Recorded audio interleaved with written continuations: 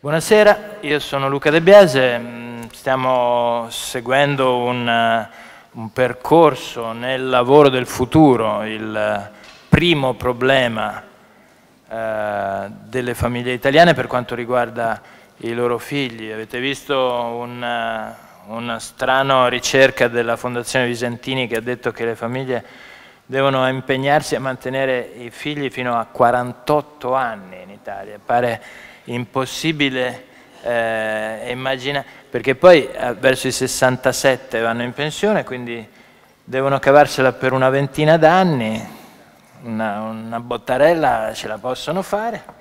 Nel frattempo eh, è chiaro che questo genere di discussione eh, non va preso per niente alla leggera. Il tema non solo è che in Italia abbiamo pochissimi studenti universitari rispetto a quello che per esempio succede in Germania dove ammettono una gran quantità di fuoricorso, riducono il numero chiuso dell'università e in questo modo riducono drasticamente la disoccupazione giovanile.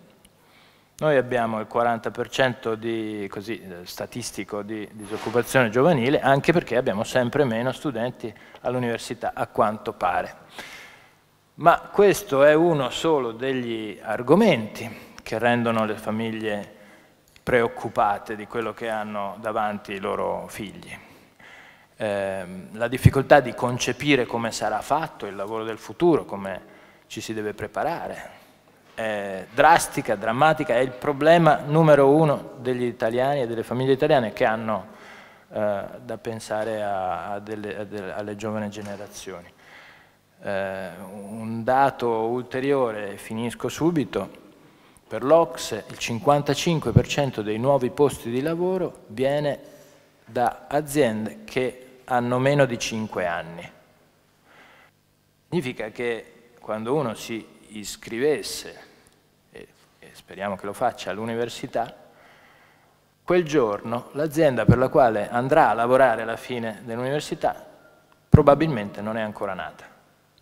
Difficile immaginarsi come è fatto il lavoro del futuro in queste condizioni e infatti è un grandissimo problema a cui si aggiunge ultimamente un dibattito sull'automazione sempre più spinta per la quale, come dicevamo l'altra volta, è inutile ricordarcelo, c'è una quantità di ricerche che parlano di una forte sostituzione di posti di lavoro umani con posti occupati da intelligenze artificiali, robot e quant'altro. Ce n'è stato uno studio di Oxford molto dibattuto e molto controverso eh, che parlava del 47% dei posti di lavoro che sarebbero stati sostituiti da robot, per esempio eh, auto e camion che si guidano da soli avrebbero preso il posto di tassisti, camionisti e quant'altro.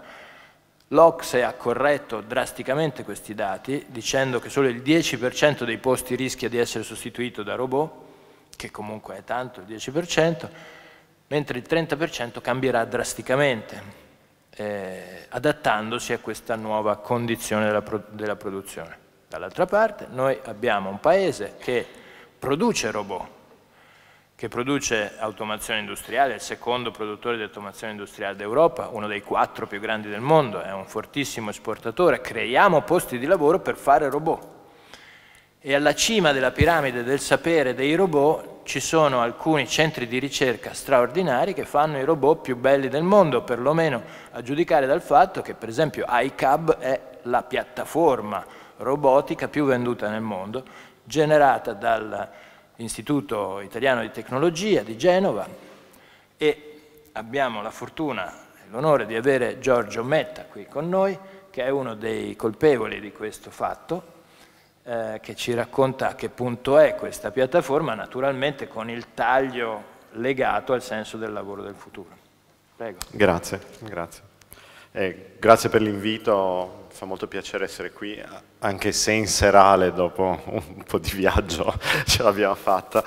Um, volevo iniziare con una, una, frase che mi piace molto, ve la, ve la faccio vedere. Eh, è un pezzo che ho, ho, scomodato Isaac Asimov, scrittore di fantascienza, in un pezzo che mi piace molto perché ha un, ha un, suo significato, dice quanti anni, c'è una conversazione tra due persone, questa è una storia breve, eh, la prima persona chiede quanti anni hai, la seconda risponde 32 e la prima, eh, diciamo, la prima a questo punto dice ma non ti ricordi un mondo senza i robot? E, ehm, questo quando io l'ho letto la prima volta ho pensato a mio figlio che all'epoca aveva 10 anni e non aveva mai conosciuto un mondo senza computer, senza internet, dove la musica per lui è un concetto astratto, non esiste un supporto della musica, la musica vive da qualche parte ma non è una cosa concreta. E, ehm, quindi l'ho trovato interessante perché chissà che un giorno appunto non esisterà una generazione che possa effettivamente dire una cosa di questo tipo. Um, noi facciamo ricerca in robotica e, e in intelligenza artificiale e abbiamo cercato anche di capirne i motivi. Io ho iniziato a fare robotica per passione, non tanto perché avessi una motivazione di utilizzo futuro della robotica, mi ci sono trovato in mezzo quando ero molto più giovane ehm, poi però abbiamo cominciato a chiederci, ma il tipo di robotica che stiamo facendo, dove può servire? Lo facciamo solo perché abbiamo la curiosità del ricercatore oppure c'è qualcos'altro dietro? In realtà abbiamo uno scenario in mente, che è rappresentato credo bene da questa, da questa foto, che è sostanzialmente l'invecchiamento della popolazione. Questo è uno di quelli che si chiamano i megatrends, che vuol dire di fatto dei, dei fenomeni che sono molto difficili da contrastare. Questo avviene a livello globale, in tutto il mondo, eh, praticamente in tutto il mondo, a parte diciamo, il continente africano, e, ed è plausibile che per i prossimi 30-40 anni questa tendenza non cambi. Una, un altro modo per vedere questo è guardando questi grafici, non c'è bisogno di leggere numeri o altre cose, semplicemente si vede che negli ultimi 50 anni il numero di figli di fatto è sceso ed è sceso sotto la soglia per la quale la popolazione rimane costante. Questa soglia ipotetica è 2,1 e vediamo che in Europa, in Cina, um, ma anche in paesi come l'India questo numero è andato giù drasticamente. In India ancora diciamo, positivo, quindi la popolazione cresce, in, uh, sicuramente in Europa, Cina, Giappone Stati Uniti la popolazione è destinata a scendere. Questo vorrà dire che, siccome scende ma vuol dire che ci sono meno giovani, eh, ma non è che eh, la popolazione scende immediatamente, si arriva a un certo numero, questo vuol dire che per il 2030, che non è lontanissimo, ci saranno 845 milioni di persone oltre i 65 anni, quindi teoricamente persone che non lavorano. Una delle ipotesi eh, a cui si dà credito è che appunto la robotica per l'uso personale possa essere una soluzione a questo grande numero di persone che potrebbe aver bisogno di assistenza. Questa è una possibilità. Un'altra possibilità è che semplicemente avremo delle braccia in meno e quindi sarà necessaria più automazione nell'industria. Da qualche parte di fatto potrebbero mancare delle braccia. Um, Bill Gates, che se non credete a me, posso citare diverse persone, una Bill Gates che ehm, ipotizzava appunto questa venuta della robotica personale, un po' come è successo per il computer, negli anni 80 si è passati dal computer per l'industria ehm, al computer personale, che in ultima analisi poi ci ha portato quei dispositivi che ora abbiamo sempre con noi, che fanno di fatto più calcoli di quanti ne faceva un, computer per l'industria dell'epoca. Um, e lui ipotizza questo passaggio anche per la robotica, quindi la robotica usata normalmente per l'industria verso una robotica invece di uso più personale. Um, qualcosa è successo di recente, diciamo negli ultimi 5-6 anni, ed è stato un progredire di una serie di tecnologie che stanno dando risultati interessanti. Queste, di fatto, riassunte in questa slide, sono quelle che hanno a che vedere con l'intelligenza artificiale ho, raccol ho, raccolto dei loghi in questa slide perché questi sono tutti attori in questo campo nuovo dell'intelligenza artificiale. Questi sono uh, tutti i grandi americani, Google, Facebook, piuttosto che Amazon, che stanno investendo pesantemente in, questi, in queste tecnologie. Poi ci sono un po' di, ovviamente, università, uh, ma c'è anche la NASA, c'è IBM, ci sono dei fornitori di tecnologia, Nvidia, ad esempio, è un costruttore di microprocessori che sta investendo pesantemente e crede che questa possa essere una strada di successo. Ci sono due ragioni per cui questo è successo. Di fatto Um, una è la disponibilità di dati, quel grafico che vedete sulla destra è una rappresentazione di come è cambiata la disponibilità di dati in un particolare settore. Quindi il quadratino piccolo, ehm, diciamo a sinistra in basso, è quello che io potevo avere qualche anno fa.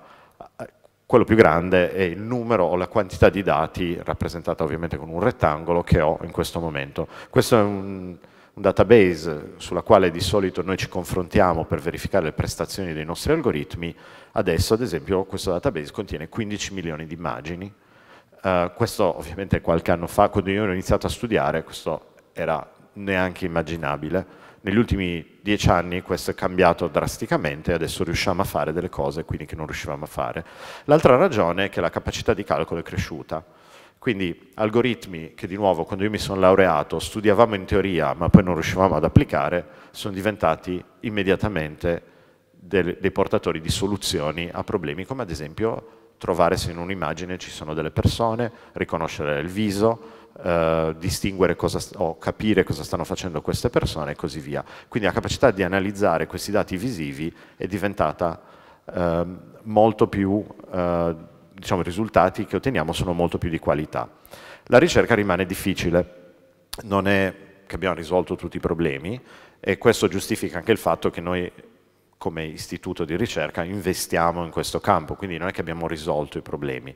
Ora, abbiamo automobili che vanno quasi da sole, abbiamo automobili dove so, il sistema con telecamere ci dice e, e vede i segnali stradali, stradali ce li indica, Um, ci sono tutta una serie di cose che cominciano a funzionare, in qualunque cellulare ormai eh, vengono identificate le facce e quando scatta una foto viene messo il rettangolino intorno alla faccia. Que queste cose qui appunto cominciano a diventare dei prodotti, però non siamo chiaramente nel, in grado di realizzare un robot controllato da questa capacità di elaborazione. Noi qualcosa proviamo a fare, questa è un'immagine eh, di uno dei nostri robot e adesso vi faccio vedere un po' delle cose che stiamo facendo per, per cercare di presentare un po' qual è lo stato di questa tecnologia. Una cosa che è molto complicata da fare, ad esempio, lo vedete nel, nel prossimo video, è questa um, capacità di mantenere gli oggetti in mano e di manipolarli. Questa è una capacità che è squisitamente umana e sfortunatamente, anche se qui sembra che le cose vadano, in realtà non non riusciamo a farlo così bene ancora. Quindi il robot che ci sostituirà completamente nei lavori manuali al momento non esiste. Esistono delle soluzioni ad hoc, se io voglio prendere una bottiglia riesco a farlo, se voglio prendere qualunque oggetto è molto più complicato. Esistono cose di questo tipo dove io interagendo in maniera abbastanza semplice con un robot posso chiedergli di indicarmi un oggetto. Il robot in questo caso vede, usa le sue telecamere per vedere cosa sta succedendo e eh, riconosce l'oggetto correttamente e lo indica. Questo di nuovo è un compito che sembra semplicissimo, considerate che dietro magari c'è il lavoro di tre anni di una, uno studente che si è impegnato per realizzare questa specifica capacità. Un'altra cosa che riusciamo a fare, che sarà utile per uh, i robot che dovranno interagire con noi, e dare al robot la capacità di sentire quando viene a contatto con l'ambiente. Immaginate che, di avere questa macchina quale, con la quale dovete interagire, la toccate non volete che questa macchina sia rigida o spinga contro di voi, preferireste che fosse morbida e cedesse al potenziale contatto. E questa è una delle cose che viene mostrata in questo video. Qui addirittura il robot, utilizzando le telecamere, prevede il contatto e quindi si sposta ancora prima di essere arrivato in contatto Immaginate quindi in un futuro questo robot si muove in un ambiente, ci sono persone, ci sono cose, non bisogna scontrarle, non bisogna toccarle, quindi questa capacità è importante. La stessa capacità, che quindi è quella di capire il contatto con l'ambiente, che lui effettua attraverso dei particolari sensori tattili, ci consente anche di fare cose di questo tipo, dove per esempio il robot rimane in equilibrio mentre fa un po' di esercizi di ginnastica. Questo eh, diciamo, non è esercizio fine a se stesso, queste sono le basi che gli consentiranno di muoversi in maniera sicura in un ambiente su due gambe. La stessa cosa la vedete in quest'altro video dove il robot viene spinto e deve bilanciarsi, oppure piuttosto che in quest'altro dove addirittura l'abbiamo messo in una situazione difficile, deve tenersi in equilibrio su un oggetto che è naturalmente instabile.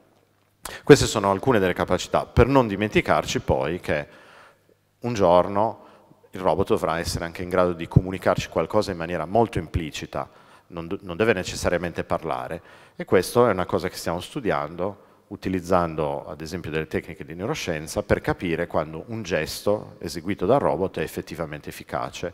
Quello che facciamo di fatto è prendiamo delle, dei nostri studenti o dei soggetti umani e con delle tecniche non invasive ovviamente, misuriamo qual è la loro risposta di fronte a un'azione fatta dal robot piuttosto che un'azione fatta da un altro essere umano. Quando le risposte del cervello sono simili vuol dire che abbiamo ottenuto l'effetto desiderato, che è il robot che si comporta più o meno come si comporta un essere umano. E questo è importante perché i gesti che fa il robot devono essere esemplificativi in maniera naturale per consentirci in qualche modo di essere a nostro agio quando interagiamo con la macchina. Poi abbiamo fatto un altro lavoro, sfortunatamente gli oggetti che vedete in, queste, in, questi video sono cose piuttosto costose e quindi più di recente, un paio d'anni fa, abbiamo detto ma riusciamo a fare qualcosa che costi meno? Effettivamente questa tecnologia è, è solo qualcosa per pochi o può diventare qualcosa per tutti? Può diventare un po' come la TV, quindi qualcosa che compro a poco e mi metto in casa? Abbiamo fatto un esercizio di design, se vogliamo, e ingegneria, però questa volta siamo partiti dal design. Essendo italiani abbiamo detto, pensiamo che un oggetto che un giorno mi dovrò mettere in casa debba essere anche avere una sua eleganza, per cui abbiamo iniziato proprio facendo un lavoro con design industriali. L'oggetto non è venuto un vero umanoide, vedete che è un po' diverso, però ricorda l'essere umano. Alcune cose non le abbiamo potute fare perché costano troppo oppure perché non sono sicure, ad esempio le gambe le abbiamo dovute togliere perché non possiamo garantire che un robot su gambe sia sempre stabile, che non cada e faccia del male a qualcuno.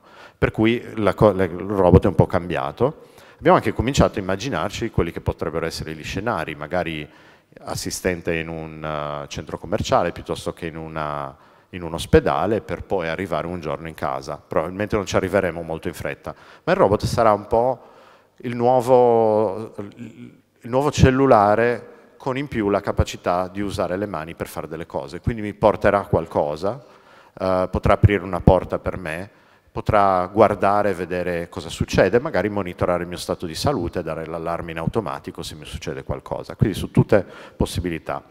E, ehm, in questo video in qualche modo vedete il, una presentazione così di, di questo robot. Appena l'abbiamo finito, questo ovviamente è ancora un prototipo, però già facendo questo lavoro di semplificazione e di ulteriore ingegneria siamo riusciti a abbattere i costi rispetto all'umanoide completo di circa un fattore 10. Quindi c'è speranza che queste siano macchine che un giorno raggiungeranno un prezzo effettivamente accessibile.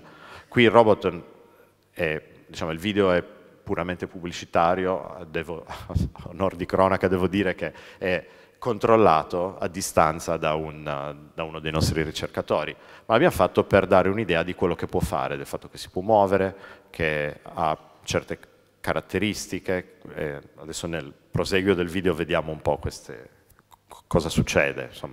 Eh, credo che renda abbastanza, tutto sommato, l'idea di come sia stata fatta questa macchina. Questo è ipoteticamente l'arrivo del nuovo membro della famiglia di, di robot dell'istituto. Qui ad esempio si vede che la mano può effettivamente prendere un oggetto, pur essendo molto semplice è in grado di prendere delle cose, mm, le cose possono essere un bicchiere, una bottiglia, una scatola di medicine, quello che ci interessa. Poi eh, può spostarsi, ad esempio andare a prendere un ascensore eh, schiacciare i pulsanti in maniera opportuna, quindi in un ambiente ragionevolmente complicato può fare tutte queste cose. Eh, ovviamente a questo punto poi la sfida è mettere dentro l'intelligenza. A questo proposito volevo dire che purtroppo eh, bisogna un po' capire, se vogliamo capire il futuro dovremmo anche capire se queste tecnologie effettivamente saranno all'altezza delle aspettative. Molto spesso in passato è successo che la tecnologia progredisse, arrivasse a un certo punto e poi in realtà non riuscisse a fare quel salto di qualità necessario per andare e diventare effettivamente alla portata di tutti, o semplicemente perché tecnologicamente non era fattibile. Um, L'altro argomento che ritengo interessante è uh, di carattere più sociale, se vogliamo, è anche una volta che avessimo sviluppato queste tecnologie, quale sarà effettivamente il beneficio per tutti? Sarà qualcosa che um, andrà a, a, dare un beneficio a tutti o sarà solo per chi ha messo ad esempio il capitale inizialmente? Uh, la domanda di questo articolo è appunto chi sarà il proprietario di questi robot? Quindi saremo effettivamente noi perché ce lo siamo comprati ognuno il suo o sarà un mondo da pensare, comunque esistono dei problemi. Um, vi vorrei lasciare quindi, con semplicemente effettivamente una domanda, se parafrasando Asimov ci ricorderemo di un mondo senza robot, se questa tecnologia non sarà così utile e così e migliorerà la qualità della nostra vita da permetterci di dimenticarci il mondo prima, un po' come è successo con, con, i cellulari. Io mi ricordo ancora prima di avere il cellulare, quando per prendere un appuntamento dovevo stabilirlo un giorno prima e avere un orario preciso, perché non c'era altro modo. Adesso è un po' diverso, adesso c'è sempre la possibilità di cambiare al volo un, un appuntamento, di spostarsi in maniera diversa, di eh, in, qual in, qualche modo aggiustare le cose semplicemente perché posso comunicare più facilmente. Grazie.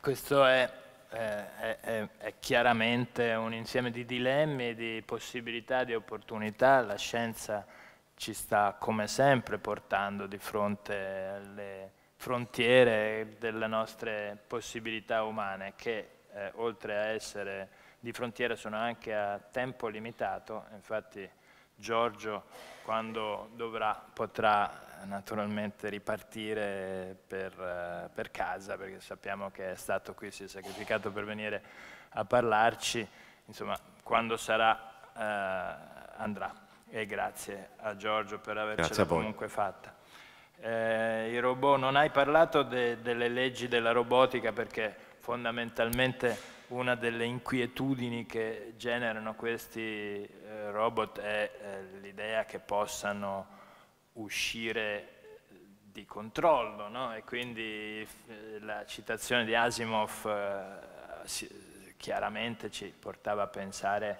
anche al fatto che sarebbe bello poterle poter dotare queste macchine di una loro etica per cui non possano fare male agli umani. Um, ma indubbiamente hai dato una dimostrazione molto più avanzata di questo, e cioè hai detto noi li disegniamo così. E questo è ancora più forte no? come, come messaggio. Abbiamo visto dei robot simpatici con la faccia da bambino oppure molto servizievoli con questo aspetto da aiutante simpatico e quindi questo è il genere di lavoro che state facendo voi. Indubbiamente non sappiamo se tutta la produzione andrà in questa direzione, sarà consapevole delle sue conseguenze. Per esempio, l'auto che si guida da sola è destinata a portare grandi dilemmi nella nostra società. Sapete eh, del fatto che ormai ha fatto milioni di chilometri la tecnologia con pochissimi incidenti, uno mortale, eh, peraltro il risultato delle indagini ha portato a dire che Joshua Brown, che è morto mentre non guidava la sua auto Tesla, eh, e si riprendeva e si metteva su YouTube mentre la Tesla si muoveva da sola e andava, faceva le sue eh, scelte fino all'ultimo giorno, quando appunto con la Tesla è andato a sbattere contro un camion che la Tesla non ha visto, eh, le indagini hanno poi deciso che eh, la colpa era di Joshua Brown perché la Tesla gli continuava a dire metti le mani sul volante. Eh, sta di fatto che questo è una sfida mh, per l'urbanistica, è una sfida per i possessori di parcheggi, una sfida per i proprietari di automobili, una sfida per le compagnie di trasporti urbani, è una sfida per le assicurazioni. Abbiamo Paola Carrea, che è direttore generale Alpha Evolution Technology del gruppo Unipol, che si pone questi problemi ogni giorno. Prego. Buonasera a tutti. Eh, dopo questa bellissima presentazione sui robot, eh, con la mia presentazione vi voglio eh, provare a spiegare come ehm, un grande gruppo assicurativo, che è appunto il grande gruppo Unipol, che voi di Bologna conoscete sicuramente meglio di me, io ci lavoro da solo un anno, eh, stia pesantemente investendo proprio per capire come cambierà eh, il mondo dell'assicurazione nel momento in cui arriveranno tutti questi nuovi paradigmi di mobilità o sono già arrivati, no? macchine che prendiamo in car sharing, macchine che prendiamo in leasing, macchine che non affittiamo e che prendiamo in prestito da, dall'amico in un ambito di un concetto di mobilità che si chiama peer-to-peer, -peer, quindi sino ad arrivare poi alla macchina automatica. Di fatto il mondo dell'assicurazione, vediamo se sono capace a andare avanti, di fatto il mondo dell'assicurazione eh, ha già fatto tanta strada, no? eh, cioè, eh, Prima di tutto ha investito internamente e qui parlo in generale un po' per il mondo assicurativo, non solo per la, per la nostra Unipol. Prima di tutto ha iniziato a investire internamente per migliorare i suoi processi aziendali. E anche questo è un percorso non banale, non è solo innovazione tecnologica, cioè portare delle infrastrutture, dell'ICT dentro l'azienda, eliminare le carte, virtualizzare tutto, ma è anche un enorme servizio per i nostri clienti, perché eh, grazie a questi processi ottimizzati all'interno dell'azienda a seguito poi di claim, di incidenti, di richieste di, di, di, di pagamenti, eh, i tempi vengono effettivamente molto ottimizzati, portando decisi benefici ovviamente per il cliente, non ultimo anche decisi benefici per l'assicurazione stessa. Eh, il percorso, questo è stato interno e, ed è in progress ovviamente, no? dentro un'azienda assicurativa ci sono, abbiamo sentito parlare prima di, di, questi, di, di questi microprocessori o di questi computer molto performanti, voi proprio qui a Bologna avete uno dei centri, un big data center, quindi un centro che raccoglie dati assicurativi che è uno dei più importanti e grandi a livello nazionale, oltre che uno dei più sicuri. Ehm, e io sono andata a vedere per mia curiosità, visto che mi occupo di telematica, quindi di raccolta dati, ehm, questo, questo big data, computer big data, dove arrivano Oggi ci sono circa 70 terabyte di dati solo dai clienti telematici 71 terabyte e 10 alla dodicesima, quindi tantissimi dati, e, e mi hanno fatto vedere una scatoletta poco più grande di una scatola da scarpe e poi mi hanno fatto vedere c'erano delle lucine più o meno a 2-3 centimetri di altezza e dicevano ecco lì stanno i tuoi terabyte di dati, no? i tuoi intesi come quelli dei clienti assicurativi telematici. Quindi effettivamente le performances di questi sistemi sono enormi e gli investimenti che ci sono dietro sono altrettanto enormi. Questo è stato il primo passo fondamentale perché poi a questo passo l'assicurazione ha iniziato ad aggiungere che cosa? La possibilità di essere più vicino ai propri clienti offrendo delle soluzioni telematiche che non sono solo il telefono, ma possono essere praticamente dei telefoni che tu metti sulla macchina, eh, quindi delle scatole telematiche sulle automobili che ti assistono soprattutto quando ne hai bisogno. E quindi in caso di incidente, in maniera molto anticipatoria anche rispetto a delle leggi che stanno arrivando a livello europeo, Unipol ha iniziato a garantire ai suoi clienti che in caso di incidente potesse arrivare in automatico l'assistenza e, e quindi essere molto vicina e nello stesso tempo, sapendo bene dalla telematica dove si trovava la macchina, mandare se non era l'incidente grave semplicemente il carattrezzi, se era più grave il cliente si capiva che ne aveva bisogno anche un'assistenza sanitaria e così via. E questo è stato un primo passo verso l'avvicinarsi di più al cliente, quindi non fare solo delle cose interne per il cliente e per se stessa, ma anche per essere più vicino al cliente. Ovviamente a un certo punto ha detto ma perché io devo parlare di telematica solo sull'automobile? No? Oramai siamo nell'era dell'internet delle cose, IoT, un robot per eccellenza che dialoga con tutta la casa, che, che accende il forno, spegne il forno, apre il, eh, il, il, il, frigorifero, chiude il frigorifero, eccetera, è perché è continuamente connesso a tutto. No? Allora anche Unipol dice, ma nel momento in cui io metto la telematica sulle macchine e garantisco quindi ai miei clienti assistenza quando sono sulla macchina, perché non pensare a una forma analoga di assistenza anche quando il cliente è in casa o anche quando il cliente è in una sua attività commerciale o eh, ha bisogno eh, perché sta girando in motocicletta o ha bisogno perché sta girando su una bicicletta. E quindi abbiamo iniziato ad allargare l'applicazione della telematica non solo al mondo dell'automobile ma anche ad altri settori.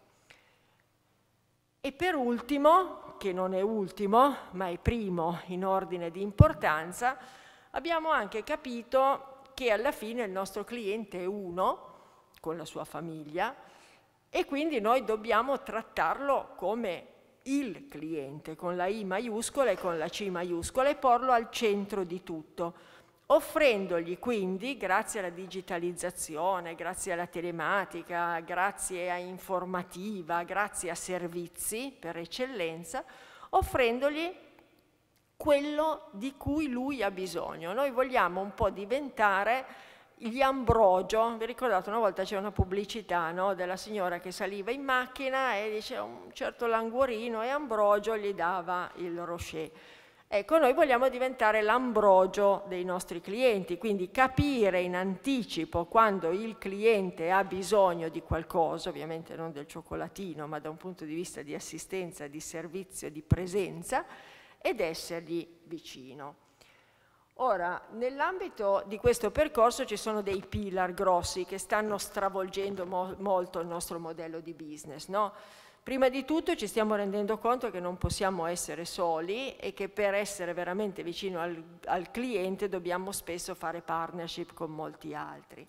In più i cinque pillar importanti vanno dal concetto del plug and play, quindi associare l'assicurazione come se fosse una spina a qualcos'altro, no? stiamo firmando un accordo molto importante, anzi abbiamo già firmato ed è per questo che lo posso dire, con Telepass, proprio per vedere, così come quando vai in autostrada per aprire il casello hai bisogno del Telepass, poi vai in Unipo per fare l'assicurazione, prendi la scatola telematica assicurativa per avere servizi, mettiamo assieme sia il pagamento da una parte, sia l'assistenza e la sicurezza dall'altra parte oppure essere orchestratori, proprio perché vogliamo tenere il nostro cliente al centro e quindi cercare di capire ogni volta quali sono i servizi di cui ha bisogno andando di volta in volta a prendere il meglio di quello che c'è sul mercato. Se il servizio di antifurto in Puglia lo fa bene un service provider, devo fare partnership con quello lì e magari in Liguria con un altro e magari in Piemonte con un altro, cioè prendere sempre il meglio per il mio cliente, essere un educatore. Questo è molto importante da un punto di vista sociale, cioè capire attraverso lo stile di guida dei nostri clienti quando effettivamente arrivano in, in, in, un modo di guida, hanno una maniera di guidare particolarmente rischiosa e allora incentivarli per evitare questa, questo, questo, rischio, che è ovviamente un beneficio anche per noi, perché se sei meno rischioso eh, no, non fai l'incidente, ma è soprattutto un beneficio per il cliente ed è soprattutto un beneficio per la società. E quindi ecco che stiamo mettendo in piedi dei modelli quali il Try Before You Renew o il Try Before You Buy, quindi delle apps che danno la possibilità di monitorare appunto il modo in cui il cliente guida e automaticamente proporgli una maniera migliore di guidare, magari in funzione di che cosa? Magari in funzione del reale flusso di traffico, magari in funzione delle condizioni meteo, magari in funzione della pericolosità di quella strada lì, piuttosto che in funzione del numero di buche che c'è in quella strada lì. Vi dico queste cose perché sono cose particolarmente nuove, non vi sto parlando solo del traffico, ma vi sto parlando di, di raccolta dati e di possibilità di capire la rischiosità delle strade o la presenza di buche, eccetera, che sono cose ancora abbastanza distintive ed uniche, queste viste a un livello non solo nazionale ma anche globale. Andando su c'è questo concetto del peer-to-peer, -peer, cioè noi ci dobbiamo pre preparare come assicurazione magari ad assicurare una community e non assicurare solo il singolo e la community si mette assieme e contribuisce magari a pagare una certa polizza piuttosto che un'altra. Anche questi sono modelli molto nuovi, sino ad arrivare al concetto di virtualizzazione del, del, del, de, dell'assistenza dell'assistente scusatemi, per, il nostro, per il nostro cliente, quindi avere qualcuno, sempre concetto di Ambrogio, che ti segue e ti suggerisce e ti aiuta continuamente, ti ricorda quello che, deve fare, quello, quello che devi fare, ti indirizza verso un, un migliore modo di comportarti. Cosa abbiamo fatto sino ad adesso? Sino ad adesso mh, posso dire, eh, possiamo già iniziare a parlare anche un po' al passato, non solo, eh, non solo al futuro. Oggi Unipol è leader a livello mondo sull'applicazione delle telematiche assicurativa per l'automobile. Abbiamo 3 milioni e mezzo di clienti, quindi con una penetrazione del 33%, dotati di scatola telematica, quindi per i quali possiamo meglio offrire questa tipologia di servizi. Siamo partiti ad offrire prodotti ovviamente anche su casa, anche su commercio, a breve usciremo con un simpatico prodotto della linea personal per gli animali domestici. Stiamo curando poi tutta una linea personal per anziani e per bambini. E quando dico linea personal per anziani, intendo possibilità di capire, per esempio attraverso la domotica, se l'anziano che ha comunque determinate abitudini, quella mattina lì, visto che lui solitamente magari alle 7 del mattino passa dal soggiorno per andare in cucina o apre il frigo o fa delle azioni abbastanza ripetitive, se io mi accorgo che entro le 9 del mattino non ha ancora fatto nessuna di queste azioni, posso chiamare attraverso il nostro centro servizi la figlia, il figlio, chi mi ha lasciato un numero di telefono di questo anziano in modo da preallertarlo che c'è qualcosa che non va ammesso che lui non se ne sia già accorto autonomamente. Ricordargli, stiamo trovando delle soluzioni con Unisalute, addirittura di apparecchiature che contano e vedono se hai preso la pastiglia, non hai preso la pastiglia, se hai aperto non hai aperto quello scatolino, eccetera. Quindi sensibilità per gli anziani, ma anche per i bambini, per sapere se effettivamente sono arrivati a scuola, se sono usciti da scuola, dove si trovano, quando giocano nel parco, quando sono eh, in spiaggia e così via. Quindi l'estensione no, di questo concetto di sicurezza sull'automobile anche a tutta la famiglia o estesa veramente molto da un punto di vista sociale. Stiamo pensando poi alle bici, al concetto di agricultural e così via. Eh, sono stata introdotta però soprattutto per il discorso dell'automobile, no? perché ovviamente sta arrivando questa guida automatica e quindi noi che dobbiamo lavorare in partnership con tutti dobbiamo anche iniziare a capire come affrontare il tema della macchina che va da sola, no? cioè nel momento in cui avremo le macchine che vanno da sole l'assicurazione cosa fa? Chi assicura? Assicura la macchina, assicura il costruttore che l'ha fatta, assicura il fornitore della tecnologia telematica piuttosto che della, della, sensoristica che è stata messa attorno alla macchina e soprattutto nel caso di un incidente chi è responsabile? No? Abbiamo sentito dire Tesla, il guidatore è andato contro, il guidatore doveva prendere il volante, non l'ha preso, eccetera. Noi stiamo lavorando Stiamo facendo un progetto molto interessante proprio con l'Università di Bologna per iniziare a capire il carico di lavoro dei guidatori eh, del driver, scusatemi, del, del, del pilota, ehm, quando è seduto su una macchina che non è una macchina tradizionale, ma è seduto su una macchina che per esempio ha qualche sistema di ausilio alla guida. No? Prima abbiamo sentito dire iniziano ad arrivare le macchine quasi automatiche, no? magari le macchine che frenano da sole, poi le macchine che ti tengono la corsia da sola, poi la macchina che ti aiuta quando sorpassi e così via. Per capire se nel momento in cui il guidatore che, adot- che non è un ingegnere, ma è una persona normalissima, e adotta questo sistema, magari proprio in quel momento lì si sente anche più libero di distrarsi un minimo. E visto che in letteratura non c'è, non c'è la, la, risposta a questa cosa qua, no? se si distrae di più o si distrae di meno e quindi se dal nostro punto di vista c'è più o meno rischio di incidenti, stiamo proprio cercando di capire anche usando dei caschetti neurali, eccetera, qual è il carico di lavoro in modo poi da renderci conto come valutare la rischiosità dell'adozione o meno, dal punto di vista incidentologico, dell'adozione o meno di questi sistemi.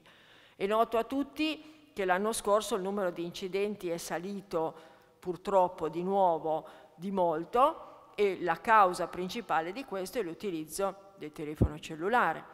Quindi da una parte non puoi proibire al tuo guidatore di usare un telefono cellulare dopo che magari ha anche pagato un sistema col Bluetooth per utilizzare senza dover pagare delle multe il cellulare. Dall'altra ti rendi conto che se uno telefona continuamente in macchina è distratto perché pensa alla telefonata e va a sbattere di più. Quindi ci sono anche tutti questi aspetti non facilissimi da affrontare e da portare avanti.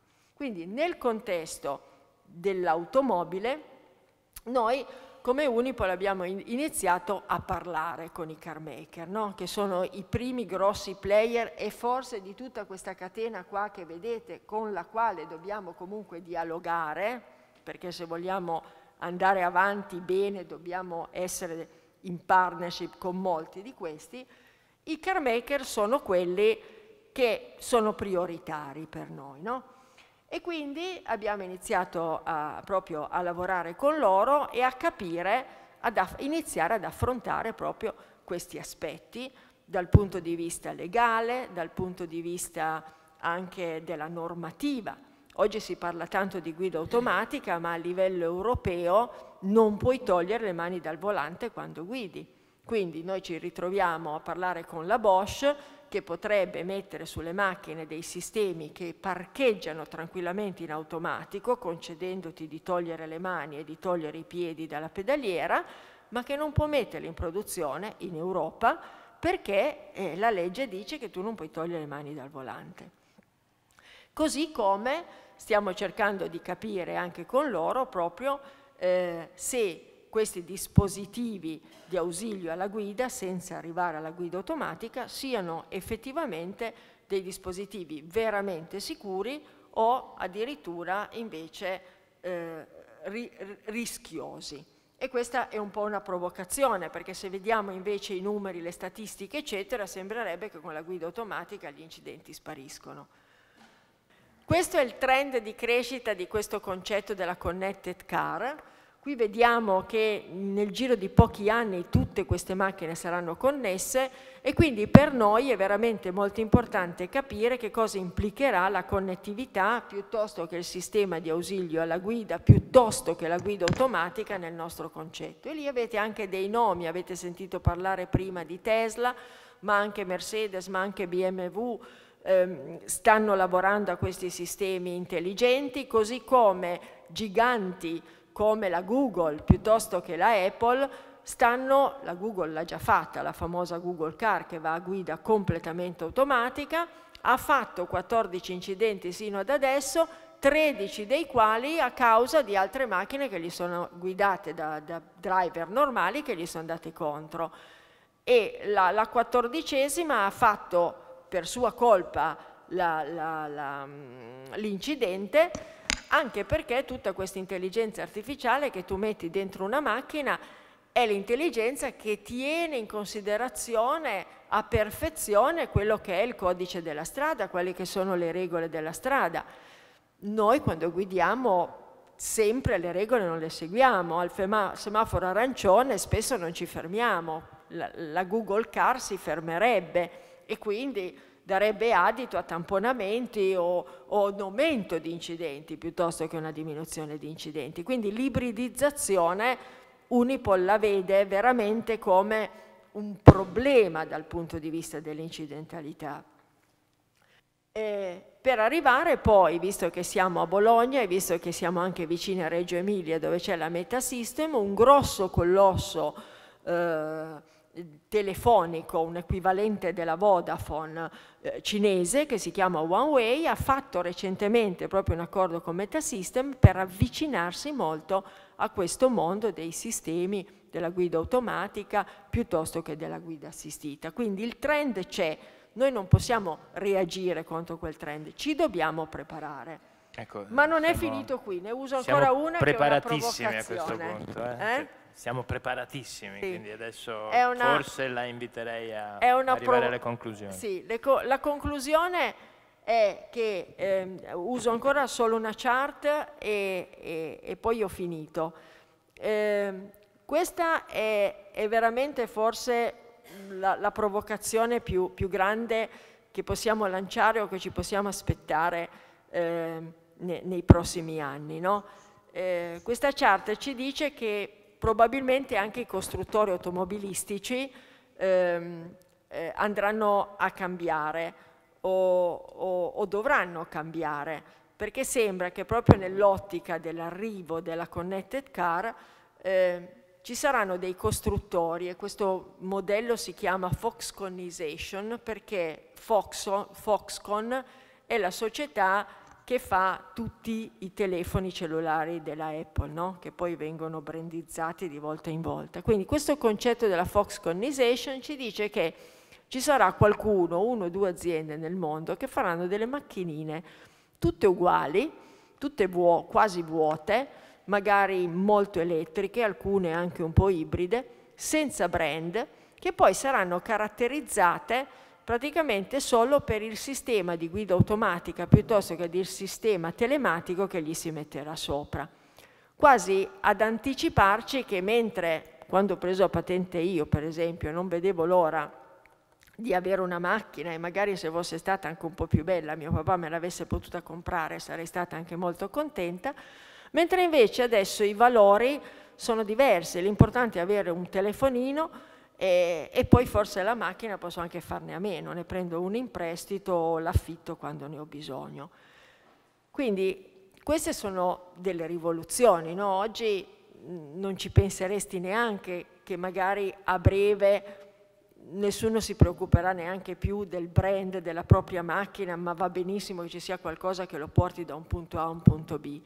Quindi la conclusione qual è? La conclusione è, come mi ha detto il capo del personale in Unipol quando mi ha assunto, probabilmente sta arrivando un meteore molto grosso sulla nostra testa che ci obbligherà a cambiare. Prima ci prepariamo al cambiamento comunque siamo pronti ad aspettarci il cambiamento e creiamo competenze e creiamo cultura all'interno dell'azienda per affrontare questo cambiamento, e forse meno penalizzeremo l'azienda per cui lavoriamo. Grazie.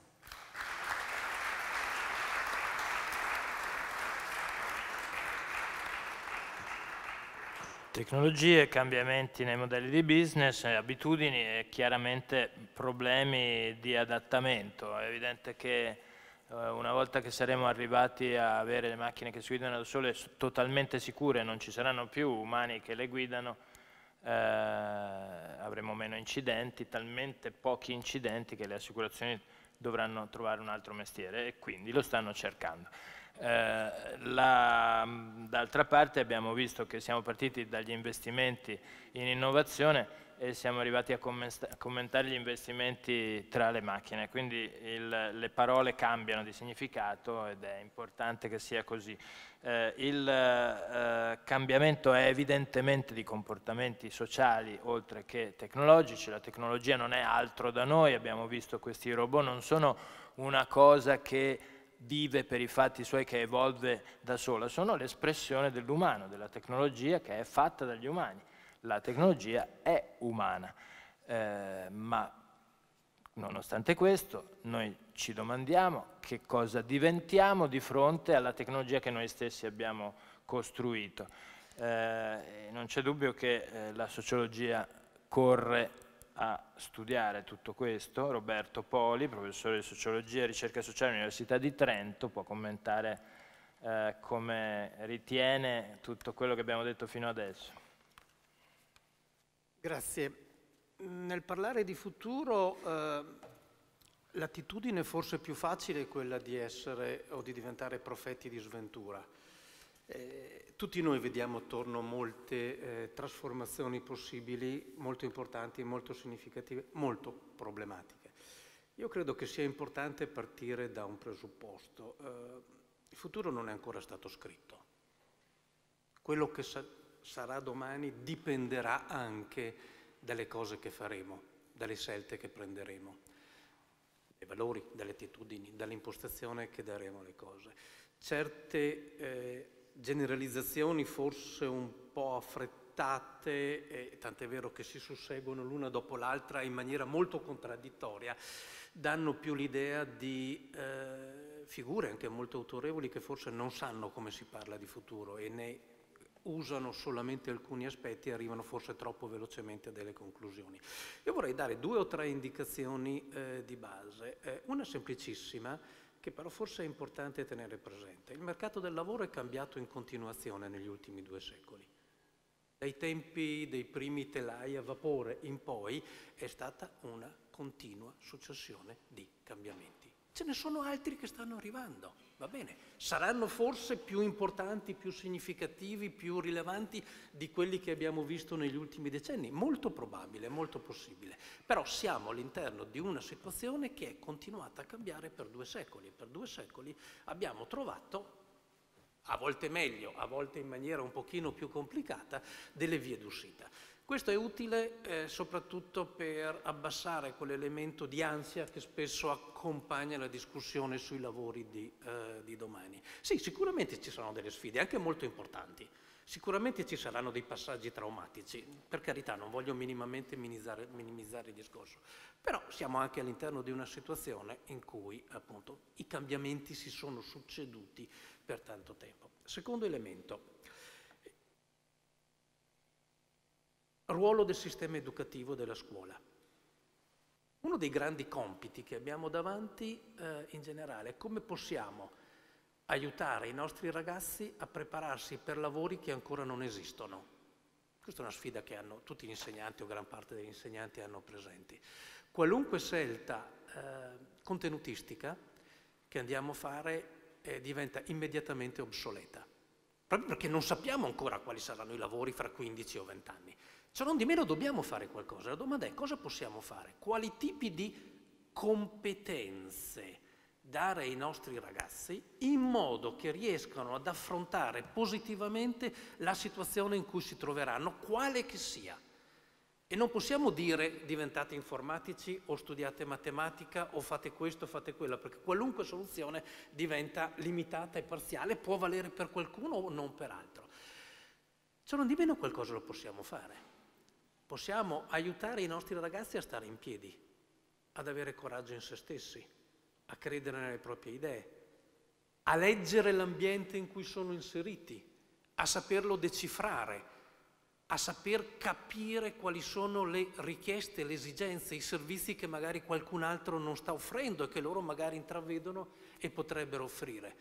Da questo punto di vista, eh, forse nelle nostre scuole potrebbe prendetela come una provocazione, come esplicitamente è, eh, magari valer la pena fare qualche ora di sport in più e stare qualche ora di meno in classe. Lo sport forma il carattere, aiuta, aiuta a prendere decisioni, aiuta a muoversi. Lo stare troppo fermi passivamente in classe ad assorbire contenuti che sono già vecchi quando eh, vengono presentati, forse, per carità, non sto dicendo che non bisogna studiare, non sto dicendo che non bisogna sapere chi sia stato Manzoni e tante altre cose meravigliose però la domanda che io mi pongo è, ma perché le scuole devono essere sempre e solo sistematicamente rivolte al passato? Certo, dobbiamo sapere di chi siamo figli, qual è la storia che abbiamo alle nostre spalle, ma nelle scuole anche il luogo, dovrebbero anche essere le palestre, la, la palestra in cui i ragazzi si formano per il domani. E in parte questo dipende dall'acquisire delle competenze, in parte dipende dal carattere e in parte anche dipende dall'affrontare esplicitamente le sfide che hanno eh, davanti a loro. Faccio solo un esempio eh, elementarissimo. Nella nostra scuola da eh, un po' di tempo vive una specie di furore certificativo. Bisogna fare test in continuazione su tutto. Una, testa, una scuola vale se supera i test. Attenzione, i test sono strumento dell'epoca industriale. I test vanno bene per garantire le qualità minime che tutti devono possedere. Se dopo dieci anni di scuola un ragazzo non sa leggere e scrivere, vuol dire che qualcosa è andato male. Benissimo, siamo tutti d'accordo su questo. Ma poi le competenze che serviranno domani non possono essere competenze uguali per tutti. Dobbiamo avere il coraggio di dire che le scuole e i ragazzi e la formazione devono essere differenziate, che le scuole competano fra di loro, che facciano cose diverse. Qualcuno riuscirà meglio in alcune attività, qualcuno riuscirà meglio in altre attività, ma questo è un modo per preparare i ragazzi, avere il coraggio di difendere la diversità, non pretendere che tutti facciano tutti la stessa cosa nello stesso momento, nella stessa, nella stessa situazione. Le scuole vivono ancora sull'idea di classe, un gruppo di ragazzi della stessa età che lavorano tutti allo stesso ritmo, alla stessa velocità, quando in realtà sono tutti diversi. Questo vuol dire che qualcuno lo mettiamo in gabbia, gli impediamo di crescere, a qualcun altro lo poniamo invece in situazioni eh, di difficile. Nelle scuole si dovrebbero provare a valorizzare le differenze e il ruolo dell'istituzione dovrebbe essere quello delle, dire, di aiutare le scuole a diventare diverse le une dalle altre, in modo che poi si creino dei panorami eh, più articolati. Venendo più vicino a noi, eh, uno dei problemi eh, che noi abbiamo, e attenzione, ritorna allo stesso schema di prima, eh, così come nelle scuole sta prevalendo un'ottica da età industriale, per cui si devono eh, dire, certificare i livelli minimi uguali per tutti, questo lo si vede anche in molti altri, eh, molti altri settori. Ormai siamo andati al di là di quella fase di sviluppo della nostra società, ma continuano a rimanere. I, i, tutti i meccanismi di misura che utilizziamo per capire cosa sta succedendo attorno a noi sono ancora molto di quel tipo, ancora, c'è moltissima innovazione che sta succedendo giorno per giorno attorno a noi, che non viene individuata. Non, perché? Perché misuriamo le cose, le guardiamo con strumenti che andavano bene 60 anni fa, 70 anni fa, li abbiamo magari leggermente riaggiustati, ma neanche tanto. C'è bisogno, faccio un esempio banale che può, e può aiutare forse anche a, dire, eh, a fare un pochino da contraltare eh, a quello che eh, i colleghi che mi hanno preceduto eh, hanno detto. Eh, Pensiamo agli uh, sms, sapete tutti cosa sono gli sms. Chi ha inventato gli sms? La risposta banale è che sono stati inventati dagli ingegneri della Nokia. No, non è vero. O meglio dire, sì, la parte ingegneristica l'hanno fatta gli ingegneri della Nokia, che però loro la vedevano per certi scopi loro così molto particolari che avevano in mente. I reali inventori degli sms sono stati i teenager europei quando hanno incominciato a usare il telefonino, gli sms, nel modo che tutti noi sappiamo. Ed era un modo che non era stato previsto dagli ingegneri della Nokia, quando hanno tecnicamente predisposto eh, il marchingegno che poi fa andare gli sms. Cioè la tecnologia è sì frutto, ovviamente, e chi vuole negarlo, del lavoro degli ingegneri, ma dipende molto anche dal come le persone la usano. Dipende molto da ciò che le persone fanno, dal tipo di...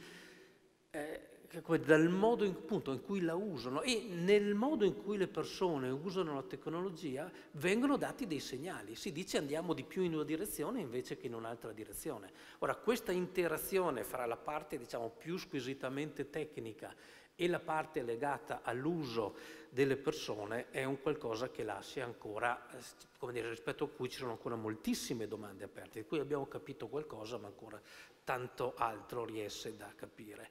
Un altro elemento su cui forse conviene riflettere parlando di lavoro, quante sono le aziende veramente innovative dal punto di vista dell'organizzazione del lavoro? Sono poche.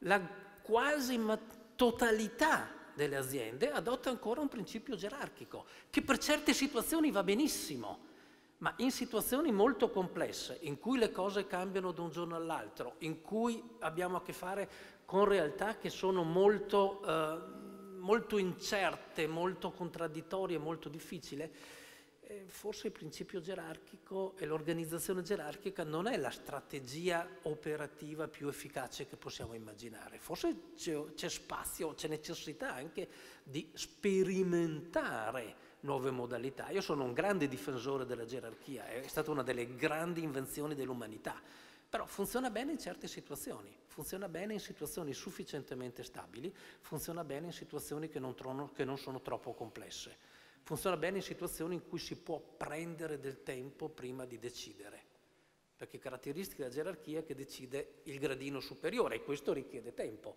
E in situazioni invece assolutamente, come dire, in certe problematiche questo porta a un costo eh, non banale.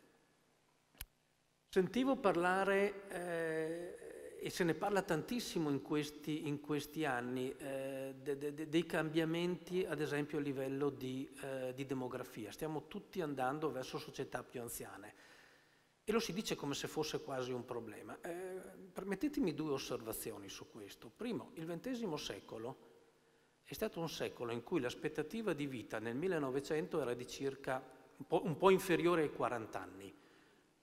Alla fine del secolo siamo arrivati a un'aspettativa di vita superiore agli 80 anni. È una grandiosa conquista sociale. Non c'è mai stato un secolo nella storia dell'umanità in cui l'aspettativa di vita è raddoppiata.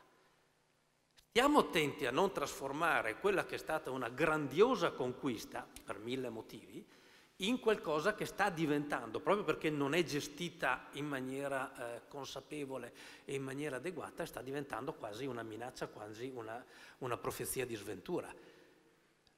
Non raddoppieremo probabilmente ulteriormente nel corso di questo secolo, e forse anche un bene, però eh, abbiamo trasformato eh, una società in cui non si arrivava ai 40 anni come aspettativa di vita globale è una società in cui si arriva tranquillamente, nella maggior parte dei casi, a 80 e oltre.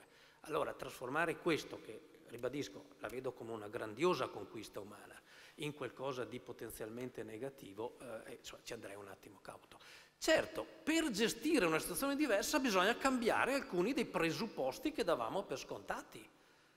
Da dove nasce la storia dei 65 anni come passaggio fra l'età della maturità e l'età, del, del, del, dell'essere anziani? È stata un'invenzione, una scelta di Bismarck. Torniamo indietro di un bel po'. Ma perché Bismarck scelse i 65 anni? Perché nella Prussia di quel momento i 65 anni erano l'aspettativa di vita che c'era e gli impiegati statali, perché le pensioni valevano solo per gli impiegati statali a quel momento, venivano dati a chi superava, cioè, se sei tanto fortunato da vivere qualche mese in più, va bene, lo Stato ti dà un attimo di aiuto. Poi però nel XX secolo è successo qualcosa, è diventato da un momento molto breve eh, de della vita degli individui più fortunati, è diventata una fase della vita vera e propria. L'età del pensionamento adesso dura 20, 25, 30 anni ed è tutta un'altra cosa. Allora non è neanche immaginabile che si possa pensare di lavorare 30 o 35 anni e con quello avere, come dire, aver pagato i contributi sufficienti per poterne vivere altri 25 o 30 rispetto ai contributi. Cioè, basta fare due conti e semplicemente non funziona. Ma allora dobbiamo ripensare, ecco un altro modo di ripensare il lavoro, non solo dal punto di vista della tecnologia, Forse dobbiamo ripensarlo nel modo in cui è organizzato. Magari ci sarà una fase della vita in cui si lavora di più per il benessere della propria famiglia e magari ci sarà una fase della vita in cui si lavora di più per il benessere o per il, come, dire, come contributo che si dà alla comunità in cui si è inseriti. Può essere una delle variazioni possibili. Ma lo stesso discorso vale sulla scuola. E se noi viviamo, e ognuno di noi spera di arrivare al massimo possibile e possibilmente in buona salute, eh, così a lungo. È immaginabile che quello che impariamo nei primi 20 o 25 anni della vita serva per gli altri 50 o 60, in un mondo che cambia con la velocità che vediamo attorno a noi. Ovviamente non ha senso. Ma allora vuol dire che quella divisione canonica che finora abbiamo dato per scontato, c'è una fase della vita in cui si studia, c'è una fase della vita in cui si lavora, c'è una fase della vita in cui si fanno i pensionati, semplicemente non funziona più. Una delle cose che dovrà cambiare nei prossimi decenni sarà la riorganizzazione delle fasi della vita, e dove probabilmente queste tre fasi saranno molto più mescolate fra di loro e non divise così rigidamente come lo sono stati eh, fino adesso. In Questo particolare per... pare che le pensioni siano messe in... in particolare metterei in difficoltà le pensioni, stiamo mettendo in difficoltà la fase delle pensioni.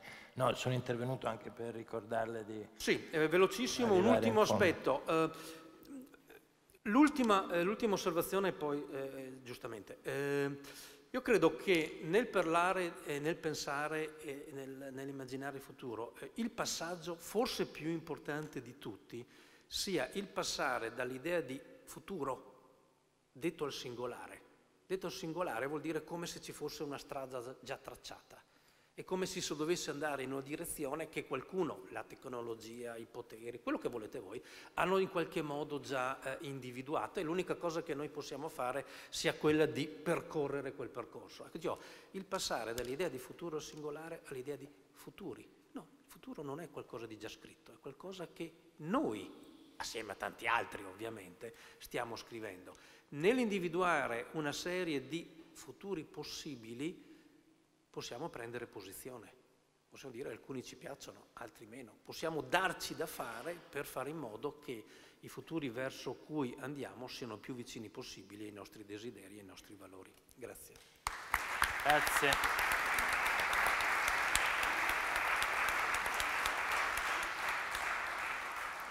Avete capito perché chiamano questi giornalisti a fare questo lavoro inutile di mediazione tra le persone? Essenzialmente sono gli unici che, facendo, avendo già una popolarità molto bassa, possono aggiungere eh, danno a questa popolarità interrompendo le persone che sanno le cose, che dicono cose così interessanti.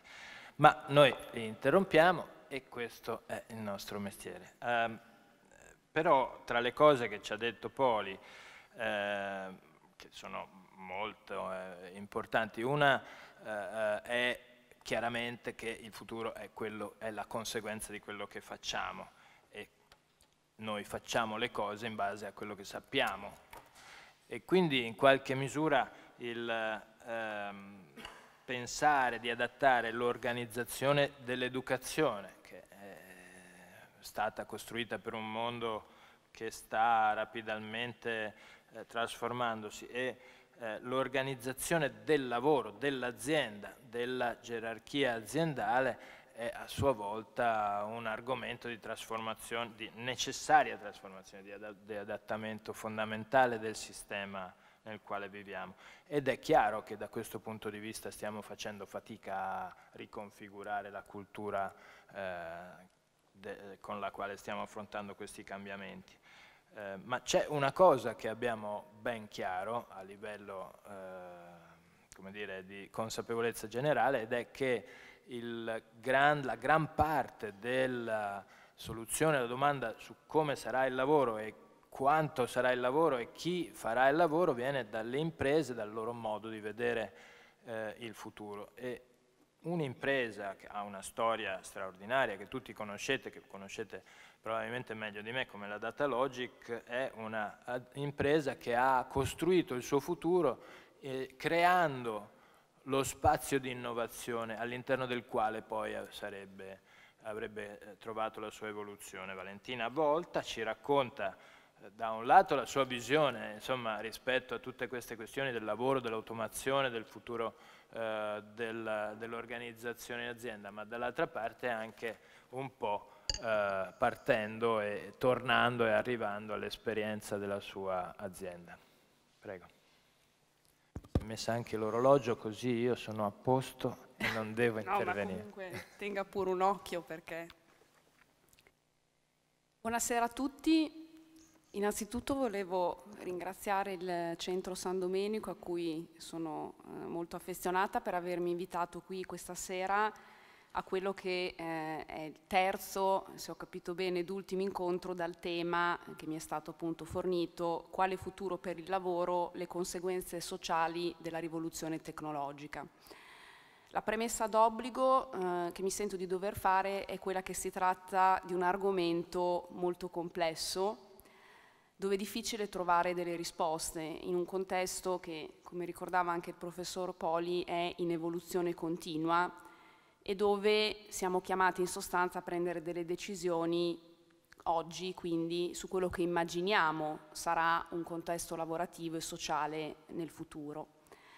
Si dice spesso che la, la storia si ripete e eh, anche in questo caso, ricollegandomi al professor Poli, è vero, non è questa una rivoluzione industriale o la prima delle rivoluzioni industriali. Noi abbiamo tre rivoluzioni industriali che si sono susseguite, a partire diciamo, da quella della macchina eh, a vapore del fine 1700, susseguita da quella dell'elettricità e del petrolio verso fine 800, fino ad arrivare a quella dell'astronautica e dell'informatica iniziata circa dopo la seconda guerra mondiale. In effetti possiamo trovare però un denominatore comune a queste tre rivoluzioni industriali. In tutti e tre i casi l'aumento della produttività generato appunto dal progresso tecnologico ha portato un aumento dell'occupazione, quindi si è sempre visto, come dire, un trend ehm, di continuità tra quello che era l'aumento della produttività e quello che era invece l'aumento dei posti di lavoro. Mentre dagli anni 2000 cominciamo ad assistere ad una divaricazione, quindi diciamo ad un disallineamento tra il PIL e la produttività in crescita, da un lato, quindi a partire dagli anni 2000, e redditi e prospettive lavorative, quindi delle persone, in calo. Questo è un fenomeno che eh, eh, ha determinato negli ultimi decenni quello che uno scienziato eh, Andrew McAfee del Massachusetts Institute of Technology di Boston chiama The Great Decoupling, il grande disaccoppiamento. Quindi, sebbene è vero che ci sono state tre rivoluzioni industriali, quindi non siamo di fronte ad una novità da questo punto di vista, i progressi tecnologici che questa rivoluzione industriale sta portando eh, aumentano sì la produttività, ma distruggono invece che creare nuovi posti di lavoro. Già nel 1930, quindi eh, un po' meno di cent'anni fa, il grande economista John Maynard Keynes aveva tenuto una conferenza a Madrid dal titolo Le prospettive, le possibilità economiche per i nostri nipoti, in cui aveva parlato appunto della disoccupazione tecnologica, quindi della disoccupazione proprio dovuta alla scoperta di nuovi strumenti economizzatori di manodopera.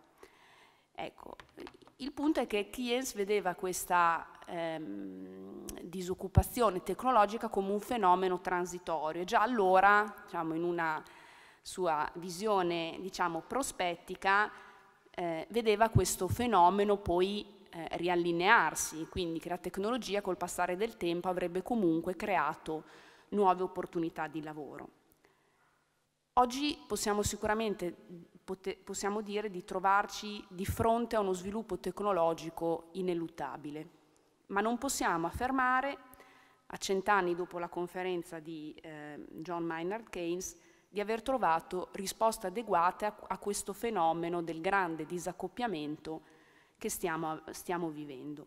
Ci troviamo insomma di fronte a un fenomeno nuovo, questo credo sia anche il motivo per cui se ne parla tanto non solo qui, ma anche in, in, in paesi appunto come gli Stati Uniti, dove se pensiamo, senza entrare perché non è il mio mestiere, ma credo che anche questa eh, situazione che stiamo vivendo, questa divaricazione tra crescita eh, della produttività e calo dei posti di lavoro abbia anche in qualche modo favorito quella che è stata poi la scelta dell'attuale Presidente eh, degli Stati Uniti in America. Quindi possiamo dire di trovarci di fronte a una quarta rivoluzione industriale ehm, che, richiamando ehm, il padre della cibernetica Norbert Wiener nel 1949 sul New York Times definì questa quarta rivoluzione come una rivoluzione di assoluta crudeltà. Ecco, io credo che il progresso tecnologico sia qualcosa di ineluttabile e che non possa essere fermato. Possiamo magari dire eh, lo fermiamo anche a livello di paese, ma sappiamo che oggi siamo, operiamo in un mercato globale. Ecco, e credo che ci siano, giusto per dare qualche dato, per ehm, aiutare un po' anche la comprensione. Mm, se prendiamo la Silicon Valley, no? quella zona della California dove c'è questa eh, le imprese più importanti dal punto di vista tecnologico, la Google, eh, Yahoo, trovano sede, consideriamo che nel 2014 se prendiamo la capitalizzazione, quindi il valore di mercato delle aziende della Silicon Valley, è di circa 1,1 trilioni, trilioni di dollari e ci lavorano 137 mila lavoratori. Quando, guardando sempre al, al, all'America, nel 1990 le aziende più importanti nel settore automobilistico, quindi Ford, General Motor, Chrysler, impiegavano 1.200.000 persone contro le 137.000 della Silicon Valley e le aziende, il valore delle aziende era di 36 miliardi di dollari contro 1,1 trilioni di dollari delle aziende nella Silicon Valley. Ma prendiamo un esempio più vicino a noi.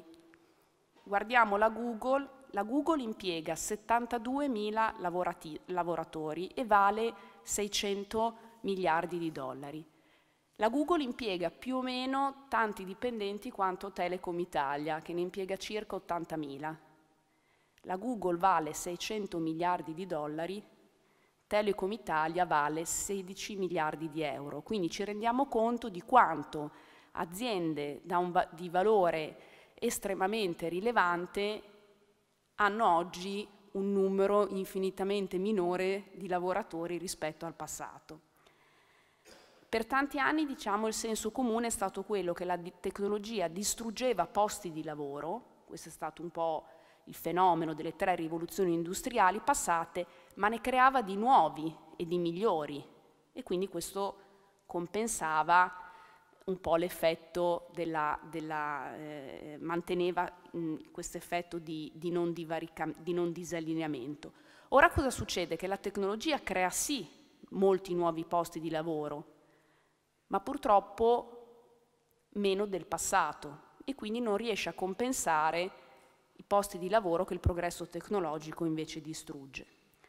A mio modo di vedere lo sforzo dei governi e delle istituzioni dovrebbe essere tutto concentrato non tanto, come ho detto, a trovare forme di limitazione o di rallentamento di quello che ormai è un fenomeno inarrestabile, quanto a trovare forme di come accompagnarlo, aumentando le opportunità lavorative ed evitando quegli impatti sociali negativi che quella che cosiddetta jobless society, una società senza lavoro, potrebbe portare.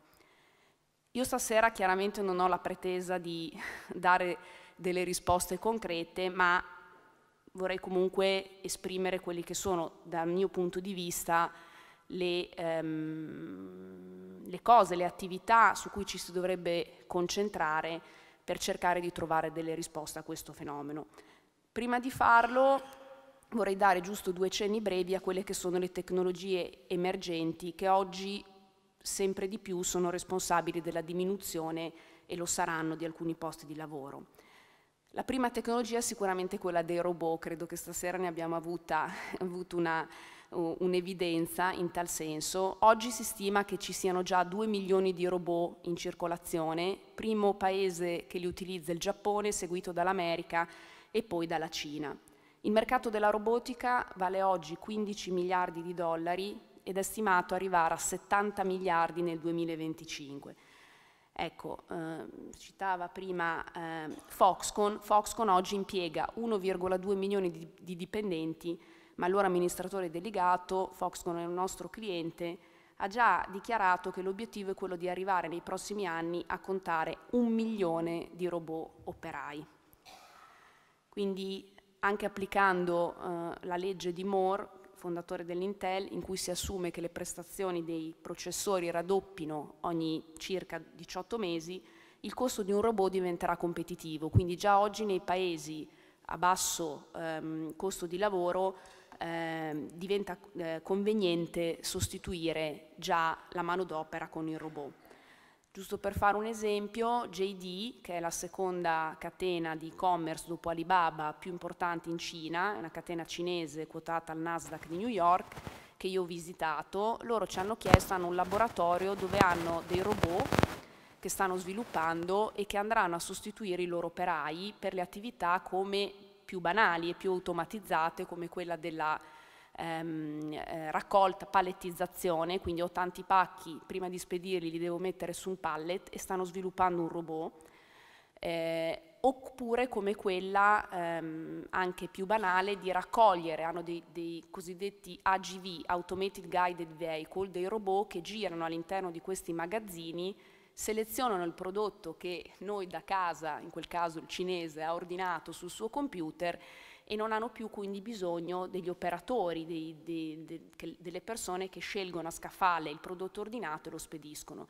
Quindi eh, oggi abbiamo visto qua in Italia che si stanno un po' avviando le prime, le prim, i primi step. In realtà mh, negli altri paesi il robot è una realtà, è una realtà che sta prendendo piede, come Datalogic chiaramente per noi è anche un'opportunità, noi avremo una delegazione di 20 ingegneri che andrà la prossima settimana a visitare JD per fornire questi robot di visione, quindi non è più solo sono un robot e faccio una cosa meccanica, ma sono anche in grado di vedere, quindi eh, lo Stato è già molto avanzato e quindi è giusto e capisco la preoccupazione su, su, sul fenomeno della robotica. Poi ci sono tante altre tecnologie, la stampa 3D, quindi posso stampare e mandare le mie specifiche da computer e come stampo un pezzo di carta, domani posso stampare un oggetto, quindi anche questo ci si rende conto di che impatto può, può avere sulle fabbriche, sui lavoratori che operano lungo le linee, l'intelligenza artificiale. Insomma, mh, molte tecnologie emergenti e non poi così emergenti che eh, sono, diciamo, ehm, portano questo, questo disallineamento. In conclusione possiamo dire che non c'è mai stato un tempo migliore di questo per un lavoratore con alte competenze e la giusta educazione perché queste persone possono usare la tecnologia per creare e catturare lavoro. Allo stesso tempo non c'è mai stato un tempo peggiore per un lavoratore con competenze e abilità cosiddette ordinarie, perché in questo caso computer e robot e altre tecnologie digitali stanno crescendo e ad un tasso straordinario e presto prenderanno il posto di, queste, di questi lavoratori. Quindi la sfida per noi e per le nostre istituzioni è quella di rendere di nuovo questa crescita inclusiva, quindi di evitare questo effetto di eh, eh, grande disallineamento e di assicurare che il progresso tecnologico abbia delle conseguenze positive per tutti e non solo per pochi. Quindi siamo un po' ad un grande punto eh, di svolta. È richiesto un ripensamento del contratto mh, sociale e la risposta a mio avviso non è unica ma sono molteplici. La prima, e mi ricollego all'intervento del professor Poli, è la riforma dell'istruzione io penso che eh, scuole, università, ehm, è importante che non formino studenti per dei lavori che non esisteranno più in futuro. È necessario intensificare la formazione nelle materie cosiddette eh, STEM, scienze, tecnologie, ingegneria e matematica. Ma soprattutto la, la, la formazione non deve essere vista solo come un sistema chiuso e temporalmente circoscritto ai primi 30 anni di vita, bensì essere un sistema aperto, un sistema che permette una formazione continua e ancora di più una riqualificazione, perché oggi ci sono persone che magari a 40-50 anni rimangono senza lavoro e non esistono, almeno parlo dell'Italia in questo caso, programmi di riqualificazione. Anche l'università stessa eh, è un sistema chiuso, nel senso uno eh, va al liceo, va alle elementari, le medie, il liceo, l'università, poi entra nel mondo del lavoro in realtà la formazione sempre di più deve diventare qualcosa di aperto con programmi di formazione e di riqualificazione continue. Quindi per me questa è la prima risposta.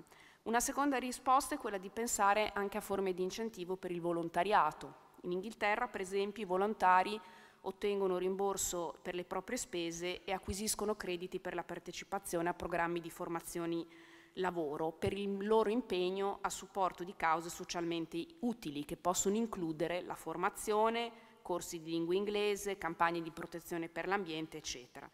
Un'altra risposta accanto, accanto, alla riforma dell'istruzione e, e appunto all'incentivazione di forme di volontariato è quella di un reddito di base garantito I critici di questa soluzione vedono due aspetti negativi, che io francamente mi sento anche di condividere per certi aspetti. Il primo è quello legato al fatto che il lavoro nobilita l'uomo. Molte persone senza un lavoro perderebbero la propria autostima. È vero che molti dichiarano di non essere soddisfatti del proprio lavoro, ma eh, l'occupazione è vitale per molti. Il secondo aspetto è quello che un reddito garantito disincentiverebbe la ricerca di un lavoro, con il rischio, soprattutto per, per il nostro sistema paese, di un'involuzione della società invece che di un suo progresso. Quindi dal mio punto di vista io concordo che una soluzione come quella del reddito garantito non, può, non possa in questo contesto essere scartata a priori, ma che debba essere strutturata e pensata in un modo tale da garantire un bilanciamento tra pagamento di un reddito garantito e forme di incentivazione a trovare comunque una nuova occupazione. Um, um, Ultimo, risposta, appunto per ridurre quello che ho richiamato essere l'effetto del disaccoppiamento, è andare nella direzione di una società felice. Quindi ehm, diciamo, un economista, di, un professore di Harvard ha definito eh, questa economia felice, un'economia in cui grazie ai robot e alla tecnologia potrebbero essere eliminati i lavori tradizionali e rendere diciamo, possibile una nuova forma di economia artigianale fondata sulla libertà di espressione e sulla creatività, dove le persone potrebbero perseguire i propri interessi artistici e culturali. Pensiamo in questo caso anche magari ai genitori che avrebbero più tempo per ehm, far crescere anche a livello culturale i propri figli. Quindi in conclusione, e concludo perché sono già quasi al limite del mio tempo, siamo di fronte a una rivoluzione industriale che come quelle del passato non è arrestabile, i cui effetti non sono ancora del tutto prevedibili.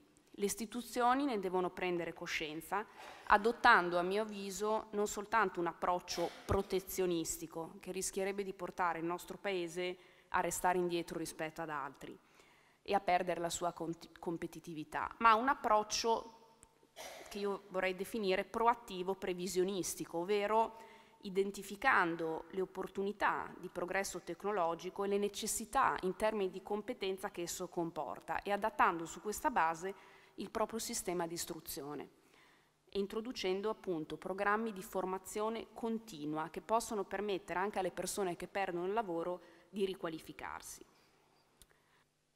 Per concludere quello che voglio ricordare è che la tecnologia è creata dall'uomo, gli stessi robot che ci mostrava il professor eh, sono creati dall'uomo e sono creati per l'uomo e quindi l'uomo stesso ha la, ha la, libertà di stabilirne i limiti e di delimitarne i confini di utilizzo. Io credo nel progresso tecnologico e nei suoi impatti positivi sulla società, ma non credo che la disumanizzazione del lavoro possa essere la crescita di lungo termine. Se i robot è vero che possono portare livelli di efficienza, di produttività e qualità anche mai sperimentati, non saranno mai in grado di sostituire quello che considero il fondamento, il fondamento dell'umanità e della sua evoluzione, ovvero l'interazione tra uomini, fondata sulle emozioni, fondata sull'amore e fondata sulla socialità come interscambio di idee e di aspirazioni. Vi ringrazio.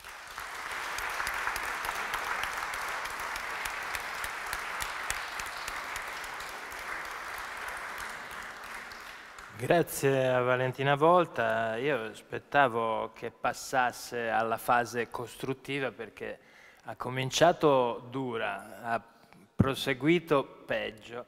Stavamo eh, perdendo un po' le speranze, poi ne siamo usciti con delle proposte che sono francamente fondamentali anche eh, per il fatto che alla fine si tratta di riconfigurare il sistema eh, culturale, insomma, educativo e la nostra capacità di generare nuove idee.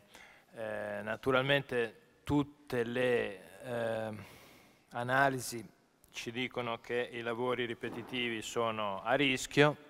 Come questo. sono, sono, non ripeta questa cosa, se no rischia, e questo è il senso della cosa che stavamo dicendo, tutti i lavori ripetitivi sono a rischio, eh, eh, alcuni lavori saranno sostituiti dalle macchine, eh, quello che sembra essere strategico è, eh, lo diceva anche Poli, adattarsi eh, all'innovazione all con, eh, nessuno però ha usato la parola creatività fino adesso, che invece è nelle attività di eh, Giovanni Emanuele Corazza, che è eh, professore ordinario all'Università di Bologna e fondatore del Manzoni Institute for Creativity. Marconi, scusate, era questo, io vengo da Milano e è uscito male. Comunque Marconi, poi c'è ehm, eh, la fondazione qui che, che, mi ha guardato subito male. Eh, eh, il, peraltro la questione della creatività e dell'ingegneria rimane eh, problematica. Riuscire a mettere insieme questi due aspetti è spesso difficile. Io vi racconto in 13 secondi quello che mi ha detto Elio delle storie tese in proposito. Lui è un ingegnere, come sapete si è laureato al Politecnico di Milano a 42 anni. Siccome non uh, voleva lasciare a metà la sua cosa, alla fine a 42 anni si è laureato, eh, essendo già un famoso cantante, artista, eccetera. E allora io sono andato a intervistarlo, ingegnere Elio delle storie tese. E tutta l'intervista è stata fondamentalmente basata sull'idea che lui diceva che la categoria più creativa che esista è quella degli ingegneri. Perché fondamentalmente la creatività non è soltanto immaginare, ma è arrivare in fondo a creare qualche cosa. Quindi non aveva tutti i torti. il creatore, tutto sommato, non ha immaginato, ha fatto eh, la, la nostra situazione nella quale ci troviamo. Non è detto che siamo tutti grati di questo, ma comunque sta di fatto che la, alla fine l'ha fatta questa cosa. Quindi lui diceva l'ingegnere è una categoria creativa perché deve fare le cose. Alla fine dell'intervista gli ho chiesto ma come mai non lo sa nessuno che gli ingegneri sono i più creativi? E lui dice perché gli ingegneri non lo dicono in giro. E io dico ma perché non lo dicono in giro? Eh perché sono degli ingegneri. Corazza. Bene, grazie, buonasera a tutti. Credo che il mio intervento sarà tanto più apprezzato quando sarà breve, essendo ormai molto tardi, quindi cercherò di dire poche cose e in qualche modo cercare di fare in modo che siano eh, ricordabili. Quindi abbiamo sentito già, approfitterò di tutto quello che è stato detto fino adesso, con cui mi trovo d'accordo, abbiamo già sentito dei trend tecnologici, quindi connettività, intelligenza artificiale, nuove fonti di energia, che in parte risolvono i nostri problemi come società e in parte ne creano di altri, oltre a rendere diciamo, l'evoluzione stessa della società caratterizzata da un'incertezza che potrebbe essere vista come un'opportunità, ma più spesso viene vista come una generazione di ansia. E quindi da questa situazione nascono nuove necessità, una nuova etica, una nuova etica nell'era della globalizzazione e, come vedete, una, e come è stato detto già in precedenza, una nuova formazione per fare in modo che, sono soprattutto preoccupato per le giovani generazioni, siano pronte a un'evoluzione di questo genere. Come è riportato in tantissime fonti, questo spostamento di eh, forza lavoro dalla parte biologica umana a quella artificiale non è omogenea, non è omogenea. I posti di lavoro che si trasportano che più, con più probabilità sono quelli dove le caratteristiche umane principali dal punto di vista dell'adattabilità della nostra specie sono meno presenti, ovvero la probabilità di robotizzazione, chiamiamola così, non è necessariamente antropomorfa questa forma di intelligenza artificiale, ma chiamiamola così, è praticamente inversamente proporzionale a quanto è il contenuto di creatività che si mette all'interno di un certo mestiere.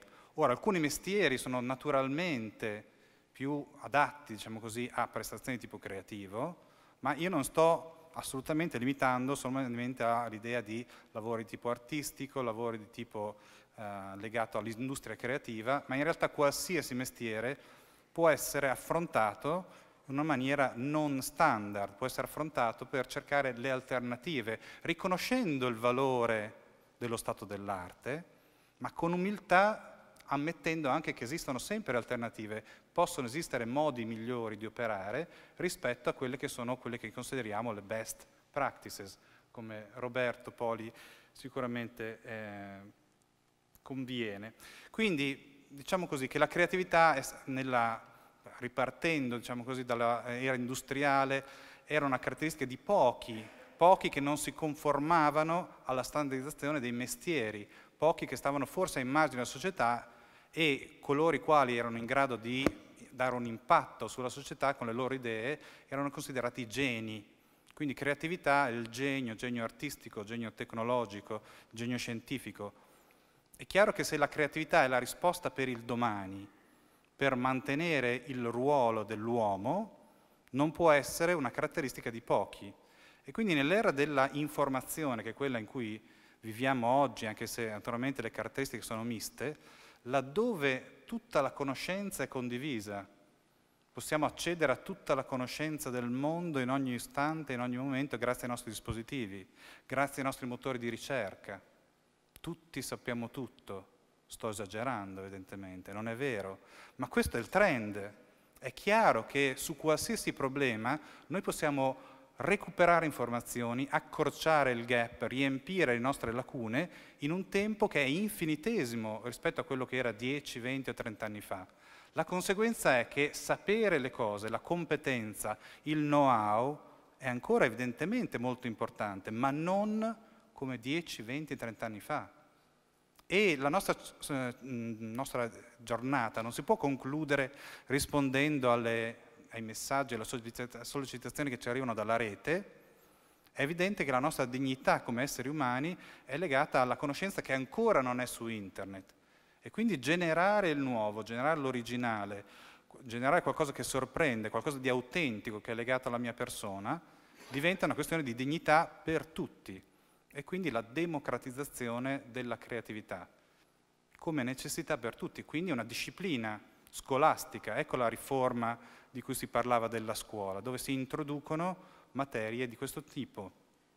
Ma non è finita, c'è un terzo blocco che è questo di cui abbiamo parlato, ovvero l'introduzione della iperconnettività, della iperintelligenza artificiale e a quel punto la capacità di generare idee è la speranza non di trovare un nuovo posto di lavoro, ma di creare quel futuro, come diceva Roberto Poli, cioè prendere decisioni oggi che modificano il futuro domani, ovvero tutti, sto di nuovo andando all'estremo, diventano imprenditori e non più impiegati, dove la forza impiegatizia è tutta artificiale per tutti, imprenditori seriali. Se questo scenario è vero, la creatività non è più solamente nemmeno una questione di dignità, ma è una questione di sopravvivenza pura. Quindi in definitiva quello che vi sto dicendo è che ci crediamo, vogliamo insegnarla, vogliamo estrarre i principi per cui abbiamo fondato questo istituto per la creatività e lavoriamo a livello di università dove ci sono corsi sì per ingegneri ma ci sono i corsi per i designer. Adesso l'Università di Bologna ha deciso che i corsi di creatività sono offerti a tutti gli 80.000 studenti dell'intera università, tutte le discipline, non c'è un confine. Poi naturalmente si può lavorare sul post laurea, il master in business administration e lavoriamo poco perché abbiamo poche risorse sulle scuole, sulle scuole elementari, però a maggio saremo a Roma in una scuola elementare per dare questa imprinting a persone molto giovani di quarta elementare. Quindi al di là di tutto quello che vi posso dire anche nel proseguio, il messaggio è e che spero che vada oltre queste quattro mura e in particolare alle giovanissime generazioni che avete in famiglia, la creatività è una necessità per tutti, non è un lusso, è una disciplina con dei principi, c'è una letteratura scientifica, 120 anni di letteratura, si può insegnare, si può sviluppare, esiste il talento, come in ogni altra disciplina, c'è chi è più dotato, ma tutti migliorano. Ci sono delle caratteristiche di personalità, dei tratti di personalità, ci sono delle abilità cognitive, ci sono delle capacità emotive, tutte queste contribuiscono a una ricetta che porta a certe prestazioni che tuttavia possono essere migliorate grandissimamente con un controllo che chiamiamo metacognitivo, nel momento in cui uno comprende come funziona il processo di generazione di idee e quindi come lo può controllare, come lo può migliorare. Vi parlo di risultati di cui siamo certi perché oramai abbiamo un'esperienza pluriennale e funzionano con tutti sempre, a prescindere dal bagaglio di partenza. Ora ho detto che devo essere breve, questa è una rivoluzione molto piccola tutto sommato, perché non stiamo dicendo di distruggere il sistema formativo attuale, al 90-95% deve rimanere esattamente così. L'intelligenza critica, la capacità di dare risposte brillanti, veloci, su cose giuste e cose sbagliate, è fondamentale per continuare a vivere in questa società. Ma bisogna aggiungere un comportamento duale, una piccola frazione, un 5%, in cui quando vogliamo, quando desideriamo, siamo in grado di sfidare la realtà, trovare alternative, generare il nuovo. Quindi è una piccola aggiunta rispetto al sistema attuale, non è una grande rivoluzione. Adesso avrei anche i principi da spiegarvi, ma ne prendo solo uno. Essenzialmente, quando è nata la teoria dell'intelligenza, quindi siamo al cavallo del, secolo 1900, Binet, che è il padre della teoria dell'intelligenza, ha, detto, ha definito l'intelligenza come la capacità di inibire la risposta istintiva. La creatività è il passo successivo, ovvero la capacità di inibire la risposta intelligente, nel senso che la risposta intelligente è la risposta brillante e rapida a un problema che ha una soluzione, ma voi capite, come ha detto anche Roberto Poli, che la nostra prospettiva non è di un mondo che ha una soluzione. La nostra è una prospettiva in cui dobbiamo essere in grado di visitare tutte le possibili alternative. Non c'è una risposta corretta a priori, c'è solo una verifica possibile a posteriori. E maggiore è la nostra capacità di visitare, esplorare lo spazio della nostra mente, quello delle altre persone, lo spazio della mente della nostra specie complessivamente, maggiore la nostra capacità di prendere decisioni utili, efficaci, originali ed efficaci al tempo stesso. Ora, questa slide vi presenta il principio, uno dei principi di base che noi utilizziamo appunto per questa esplorazione. Essenzialmente nessuno metterebbe in discussione il valore del Sole, saremmo matti se lo faremmo. Qualcuno può pensare che il Sole non sia utile? Nessuno. Eppure, se noi vogliamo esplorare le profondità dell'universo, puntiamo il nostro telescopio lontano dal Sole, perché altrimenti questo saturerebbe completamente la sua capacità. E quindi se noi vogliamo vedere le alternative, aspettiamo la notte, se noi vogliamo vedere le idee nuove, dobbiamo inibire le idee dominanti. E questa capacità di ribaltamento, che tra l'altro si ritrova in molti passi biblici, nonché del Vangelo, questa capacità di rovesciare la realtà rispetto alle nostre aspettative, apre a tutte le possibili alternative. Quindi c'è questa fase di inibizione che noi possiamo vedere anche monitorando l'attività cerebrale con elettroencefalogramma o risonanza magnetica funzionale, quindi noi vediamo esattamente quali strutture cerebrali sono inibite nel momento in cui si generano idee e quali altre sono attive e la interconnessione tra queste zone cerebrali e in particolare le oscillazioni che avvengono all'interno di queste strutture. Quindi quello che vi sto dicendo, oltre a essere rappresentato graficamente in modo magari piacevole, ha poi una riscontranza diretta, concreta, con l'attività neurobiologica, diciamo così, del cervello. E sulla base di questo noi eh, generiamo idee la cui capacità di trovare valore è un esercizio che va anche esso insegnato, cioè la capacità di trovare tutti i possibili punti di vista rispetto al valore di un'idea originale. Se un'idea è veramente originale non la si può eh, giudicare in un istante, perché altrimenti è un'idea che è esattamente all'interno della nostra conoscenza condivisa. La vera originalità richiede il cambiamento di punti di vista, una molteplicità di punti di vista, per trovare tutti i possibili scenari di utilizzo di quell'idea, che potrebbero essere anche molto lontani rispetto a quelli che erano gli obiettivi iniziali che ci siamo posti. Possiamo anche trovare in questi processi esplorativi cose che non stavamo cercando, quindi la cosiddetta serendipity può accadere. Ora, questa capacità di non giudicare ma di stimare il valore è una novità totale all'interno di una classe dove il docente non è più la persona che sa, perché l'esperto in generale uccide le idee nuove, ma si mette esattamente allo stesso livello degli studenti e assieme, in un processo dinamico, si parte da un'idea e si espande cercando di trovare tutti i possibili significati. Ora, come vi dicevo, tutte queste cose possono essere codificate, possono essere insegnate sviluppate, questo non limita la creatività, ma la abilita, così come i pennelli di un pittore non limitano la sua capacità di dipingere, ma la abilitano. Quindi sistematizzare i principi che stanno alla base del pensiero creativo è la chiave per liberarli. E quindi, frase finale è, di fronte a questa esplosione dell'intelligenza artificiale, la risposta umana ritorna essenzialmente agli origini, cioè quella che ci, per, ci ha permesso di adattarci a ambienti uscendo anche dall'Africa, la capacità di generare nuove idee. Quindi la risposta nostra è l'aumento esponenziale della creatività umana. Vi ringrazio.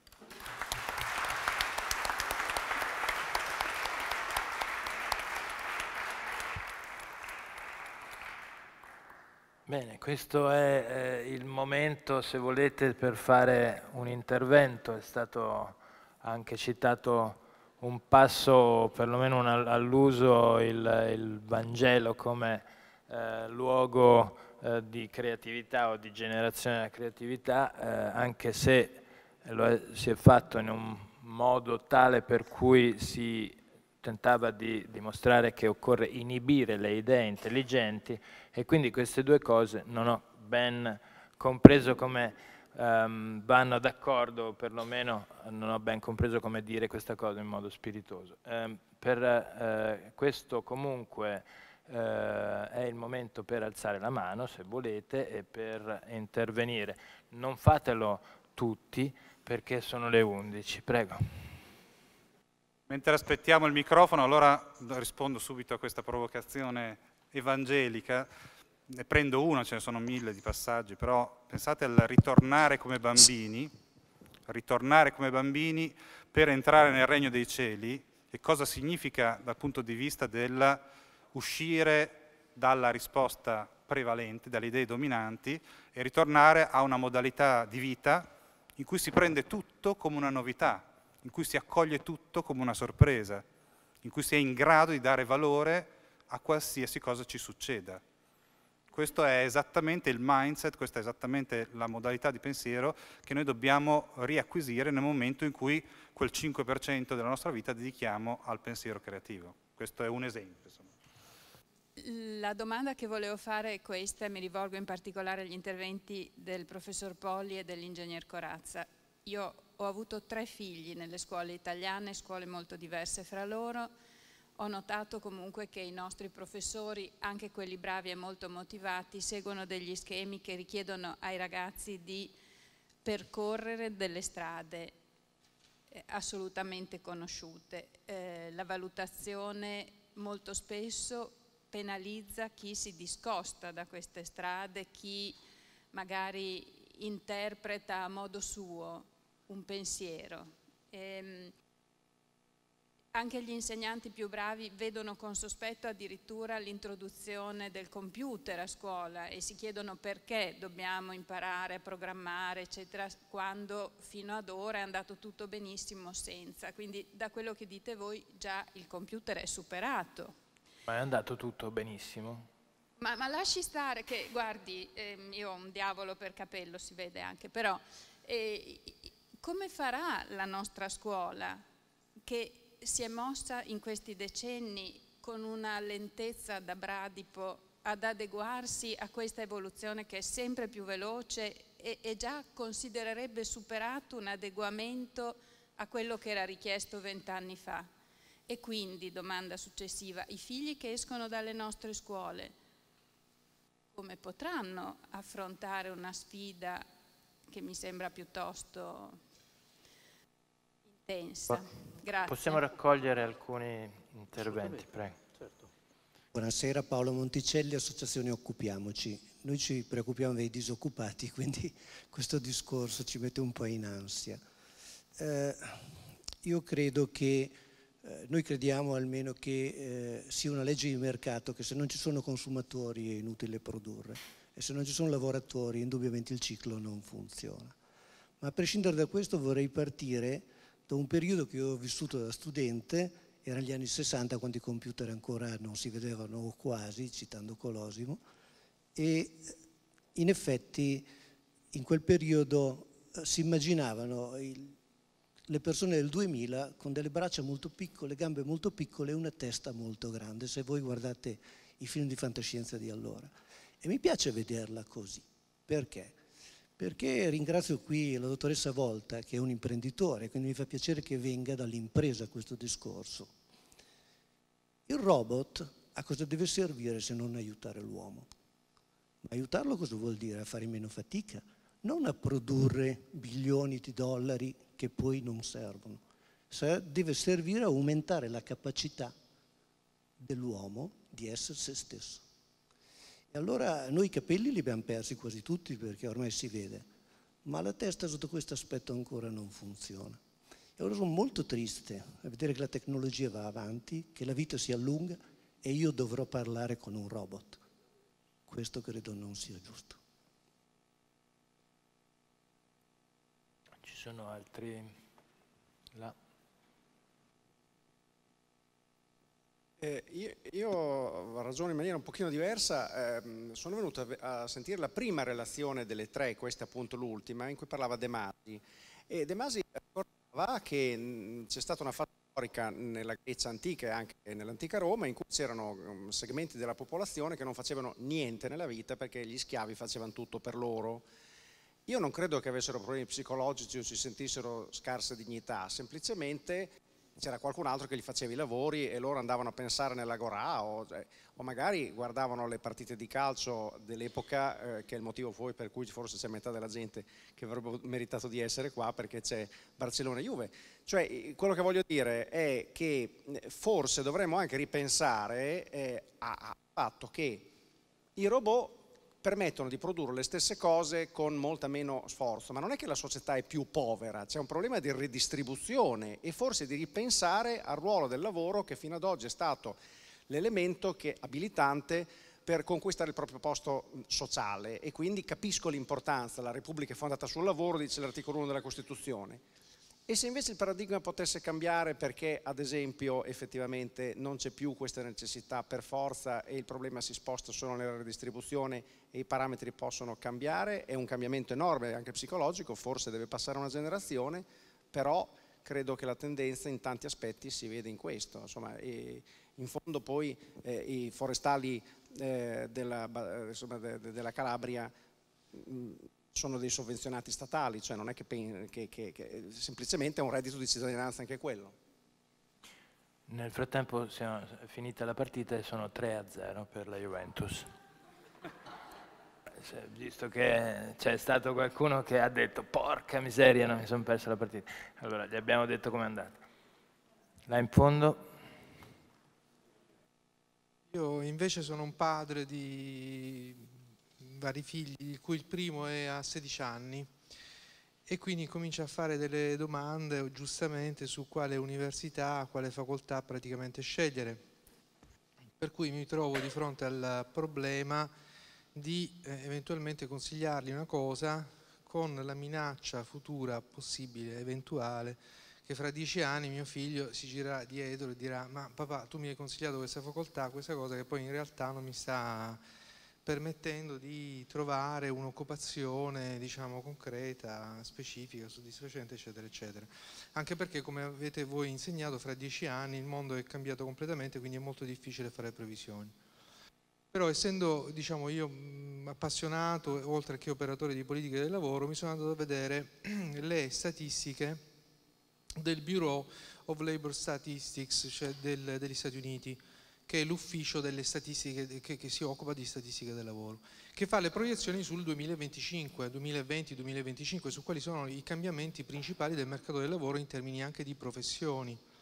E guardando ai grafici scopro delle cose un po' controintuitive rispetto a quello che si sta dicendo oggi nell'ambito del dibattito sulle tecnologie, e cioè che i cambiamenti principali in termini percentuali sulle professioni riguardano alcune professioni che non hanno niente a che fare con le tecnologie e che sono principalmente infermieri, home assistant, cioè badanti, e assistenti alle vendite. allora ho capito perché probabilmente se oggi un'azienda ha bisogno di un data manager, anzi di 10 data manager volevo dire, fra dieci anni forse avrà bisogno di un solo data manager. E se oggi un'azienda ha bisogno di 10 ingegneri di robotica, fra dieci anni probabilmente avrà bisogno di un solo eh, ingegnere di robotica, perché le tecnologie ovviamente nel momento in cui aumentano la produttività hanno bisogno di sempre meno interventi umani e, e le macchine avranno bisogno di sempre meno intervento umano, lo si vede sulla finanza, su diverse altre eh, tematiche. E questo dibattito, il dibattito nuovo sull'intelligenza artificiale è proprio su questo, che distrugge i posti di lavoro e ne, eh, e ne crea sempre di meno rispetto a ciò che avveniva. Ultimamente è uscito fuori un articolo di Acemoglu, che è un uh, esperto di queste cose in, in America, in cui che hanno, ha dimostrato effettivamente con delle tecniche statistiche che per ogni robot eh, nell'economia statunitense si distruggono tre posti di lavoro eh, umani e, ehm, ma quello, insomma, lo stimolo che vi davo era soprattutto su queste previsioni del Bureau of Labor Statistics, che danno quindi dei dati diciamo, assolutamente controintuitivi che mi spingono forse a dire che forse l'unica prospettiva è andare in Giappone, andare a vedere che cosa succede lì, perché forse è lì che si capisce qual è il rapporto vero con la robotica e con il mercato del lavoro. Grazie, io um concluderei forse il numero degli interventi, anche perché domani non ho nessun robot che mi sostituisce, devo tornare a Milano a lavorare, quindi vi prego di perdonarmi. Chiuderei qua e farei fare un giro eh, ai nostri interlocutori, magari nello, nello, stesso ordine che abbiamo visto prima, eh, compreso, se vuole, eh, Paola Carrea, eh, cosa, cosa, ne tira fuori? Naturalmente eh, tutti noi siamo coinvolti dal tema di consigliare ai figli o ai giovani eh, quale università scegliere e non ci asteniamo dal farlo nonostante che sbaglieremo sicuramente. Poi c'è il tema di essere gioiosamente liberi dal lavoro oppure preoccupanti fortemente liberi dal lavoro, i due interventi centrali opposti e simili e poi insomma come si può adattare il sistema educativo, forse lo, ne parlerà Poli. Io provo a rispondere come mamma anche se non sono... Provo a rispondere come mamma all'ultimo intervento che è stato fatto. Io ho una figlia che fa il primo anno di liceo e quando doveva scegliere il liceo eh, eravamo un po' in dubbio tra liceo scientifico piuttosto che liceo classico e alla fine ha scelto lei di andare allo scientifico anche se io personalmente avrei preferito il classico perché credo che comunque una buona base di cultura serva sempre eh, qualunque possa essere il futuro, qualunque possa essere il mestiere predominante. Eh, dopodiché da quando è piccola dice che lei vuole fare la dottoressa degli animali, quindi vuole fare la veterinaria. Personalmente preferirei facesse magari anche l'ingegnere come sono io, come mio marito, però credo che sia giusto faccia quello che vuole lei perché io ho fatto ingegneria quando i miei avrebbero preferito facessi un'altra facoltà e nello stesso tempo però eh, ho fatto una cosa che mi piaceva, ho cercato di tirare fuori quel 5% di creatività ogni volta di cui ne ho avuto bisogno e quindi se fai una cosa che ti piace, ti appassiona e, e ti dai da fare, ti tiri sulle maniche, ce la farai, ce la farai sempre. Quindi io non sarei così preoccupata, sento anche dei commenti forse un po' troppo eccessivi, no? il futuro quale sarà? Boh, eh, non lo sappiamo, forse lo sappiamo anche molto bene, in questi 20-25 anni sta cambiando rapidamente tutto, però lo abbiamo affrontato, affronteremo anche i prossimi 20-25, speriamo anche di più, 30, 40, l'abbiamo fatto noi, lo faranno i nostri figli, cioè mm, io non la vedo tutta sta minaccia, bisogna solo essere pronti, ecco, un po' più elastici, no? Però vedo molto, molti aspetti positivi più che aspetti negativi. Anche perché ragazzi abbiamo eh, imparato a, a, far smettere i telomeri di accorciarsi e quindi l'invecchiamento si ferma e quindi dureremo molto di più del doppio di 80 anni. Nel corso di questo secolo, secondo Aubry Debré, è già nato la persona che vivrà mille anni. Allora bisognerà ammettere che lì la disoccupazione sarà un fatto superato. Insomma. Purché non diventino mille anni di disoccupazione, ovviamente. Appunto, appunto. Ma sulla, eh, sulla scuola, eh, ovviamente, eh, come dire, no, non è questo il momento per imbastire in tre minuti un programma di riconfigurazione della scuola. Quello che eh, secondo me va tenuto presente non è tanto eh, il modo in cui la scuola ha funzionato finora, quanto le possibilità e la necessità che c'è di provare a fare un passo in avanti. Io trovo, per la mia limitata esperienza, che eh, da parte del mondo degli insegnanti c'è una recettività importante davanti a nuove idee non davanti alla ripetizione di cose già sentite per magari 10 o 15 corsi di aggiornamento e che nel corso del tempo continuano a ribadire le stesse cose. Noi abbiamo un programma di introduzione di laboratori di futuro in classe che funziona assolutamente bene, che ai ragazzi dà dei risultati assolutamente, assolutamente importanti. Eh, menziono, visto che siamo alla fine, solamente un aspetto. Eh, eh, uno degli scopi del laboratorio è di aiutare i ragazzi a vedersi adulti, vedersi eh, dire, a 30 anni, per un ragazzo di 15 vedersi a 30 anni è una sfida non da poco.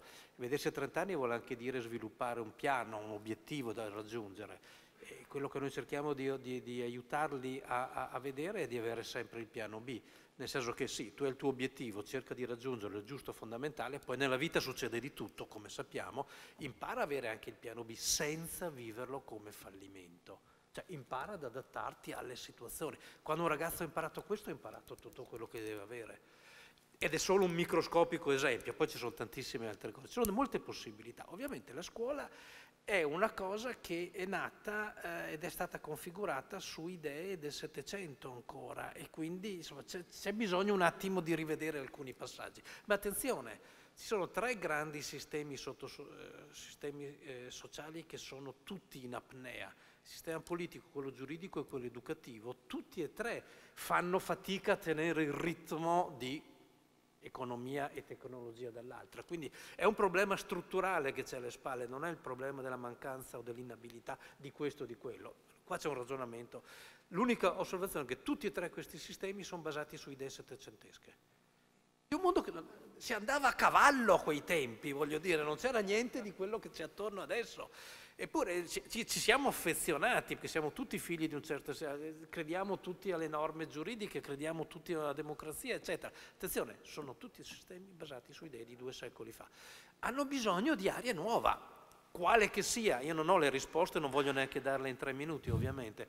Però teniamo conto che certe difficoltà strutturali che le società contemporanee vivono sono per l'appunto difficoltà strutturali, non sono congiunturali, non sono legati a un particolare momento o alla inabilità di Tizio o di Caio, richiedono un ripensamento più ampio. E qui si apre un'altra, un'altra occasione. Grazie. Um, sì, beh, insomma, comunque effettivamente il, il, sistema educativo, un milione di professori, 8 milioni di studenti è una barca difficile da girare. Io ho visto un paio di governi provarci ancora una volta, per l'ennesima volta, ho l'impressione che sia veramente complicato, probabilmente non basterà eh, il sistema educativo a rinnovare se stesso, certamente è più probabile che eh, condizioni educative si aggiungano alle, alle, condizioni di vita attuali in modo da generare quella capacità di vedersi nel futuro che diventa poi la consapevolezza con la quale facciamo le scelte e costruiamo il futuro stesso. Indubbiamente il tema però è eh, da dilemma fondamentale, come è un dilemma fondamentale l'idea che eh, dobbiamo eh, affrontare eh, un'epoca nella quale, essendoci meno lavoratori, ci saranno meno consumatori e quindi eh, meno economia per dare ancora meno lavoro. Questo tipo di approccio che porta qualcuno a dire c'è bisogno del reddito di cittadinanza eh, non soddisfaceva eh, Valentina Volta, che è stata chiamata in causa proprio da questo punto di vista. Non ho eh, tantissimo da aggiungere, come ho detto è un problema molto complesso, non credo che ci sia una sola risposta, quello che mi sento di dire è che secondo me è necessario comunque pensarci e avere comunque un programma concreto perché al di là, non per scomandare no, eh, il, il, Vangelo, no, ciascun giorno basta la sua, la sua pena, io credo che viviamo una realtà dove il progresso tecnologico è un fatto eh, e non credo che si arresterà, o almeno se si arresterà in Italia, in Cina, negli Stati Uniti, in Giappone, eh, va avanti, quindi credo che sia una responsabilità delle istituzioni e anche, anche delle aziende dal loro punto di vista di, di comunque mettere in piedi un programma serio e strutturato per affrontare questa, questa diversa quarta rivoluzione industriale, questo dal mio punto di vista.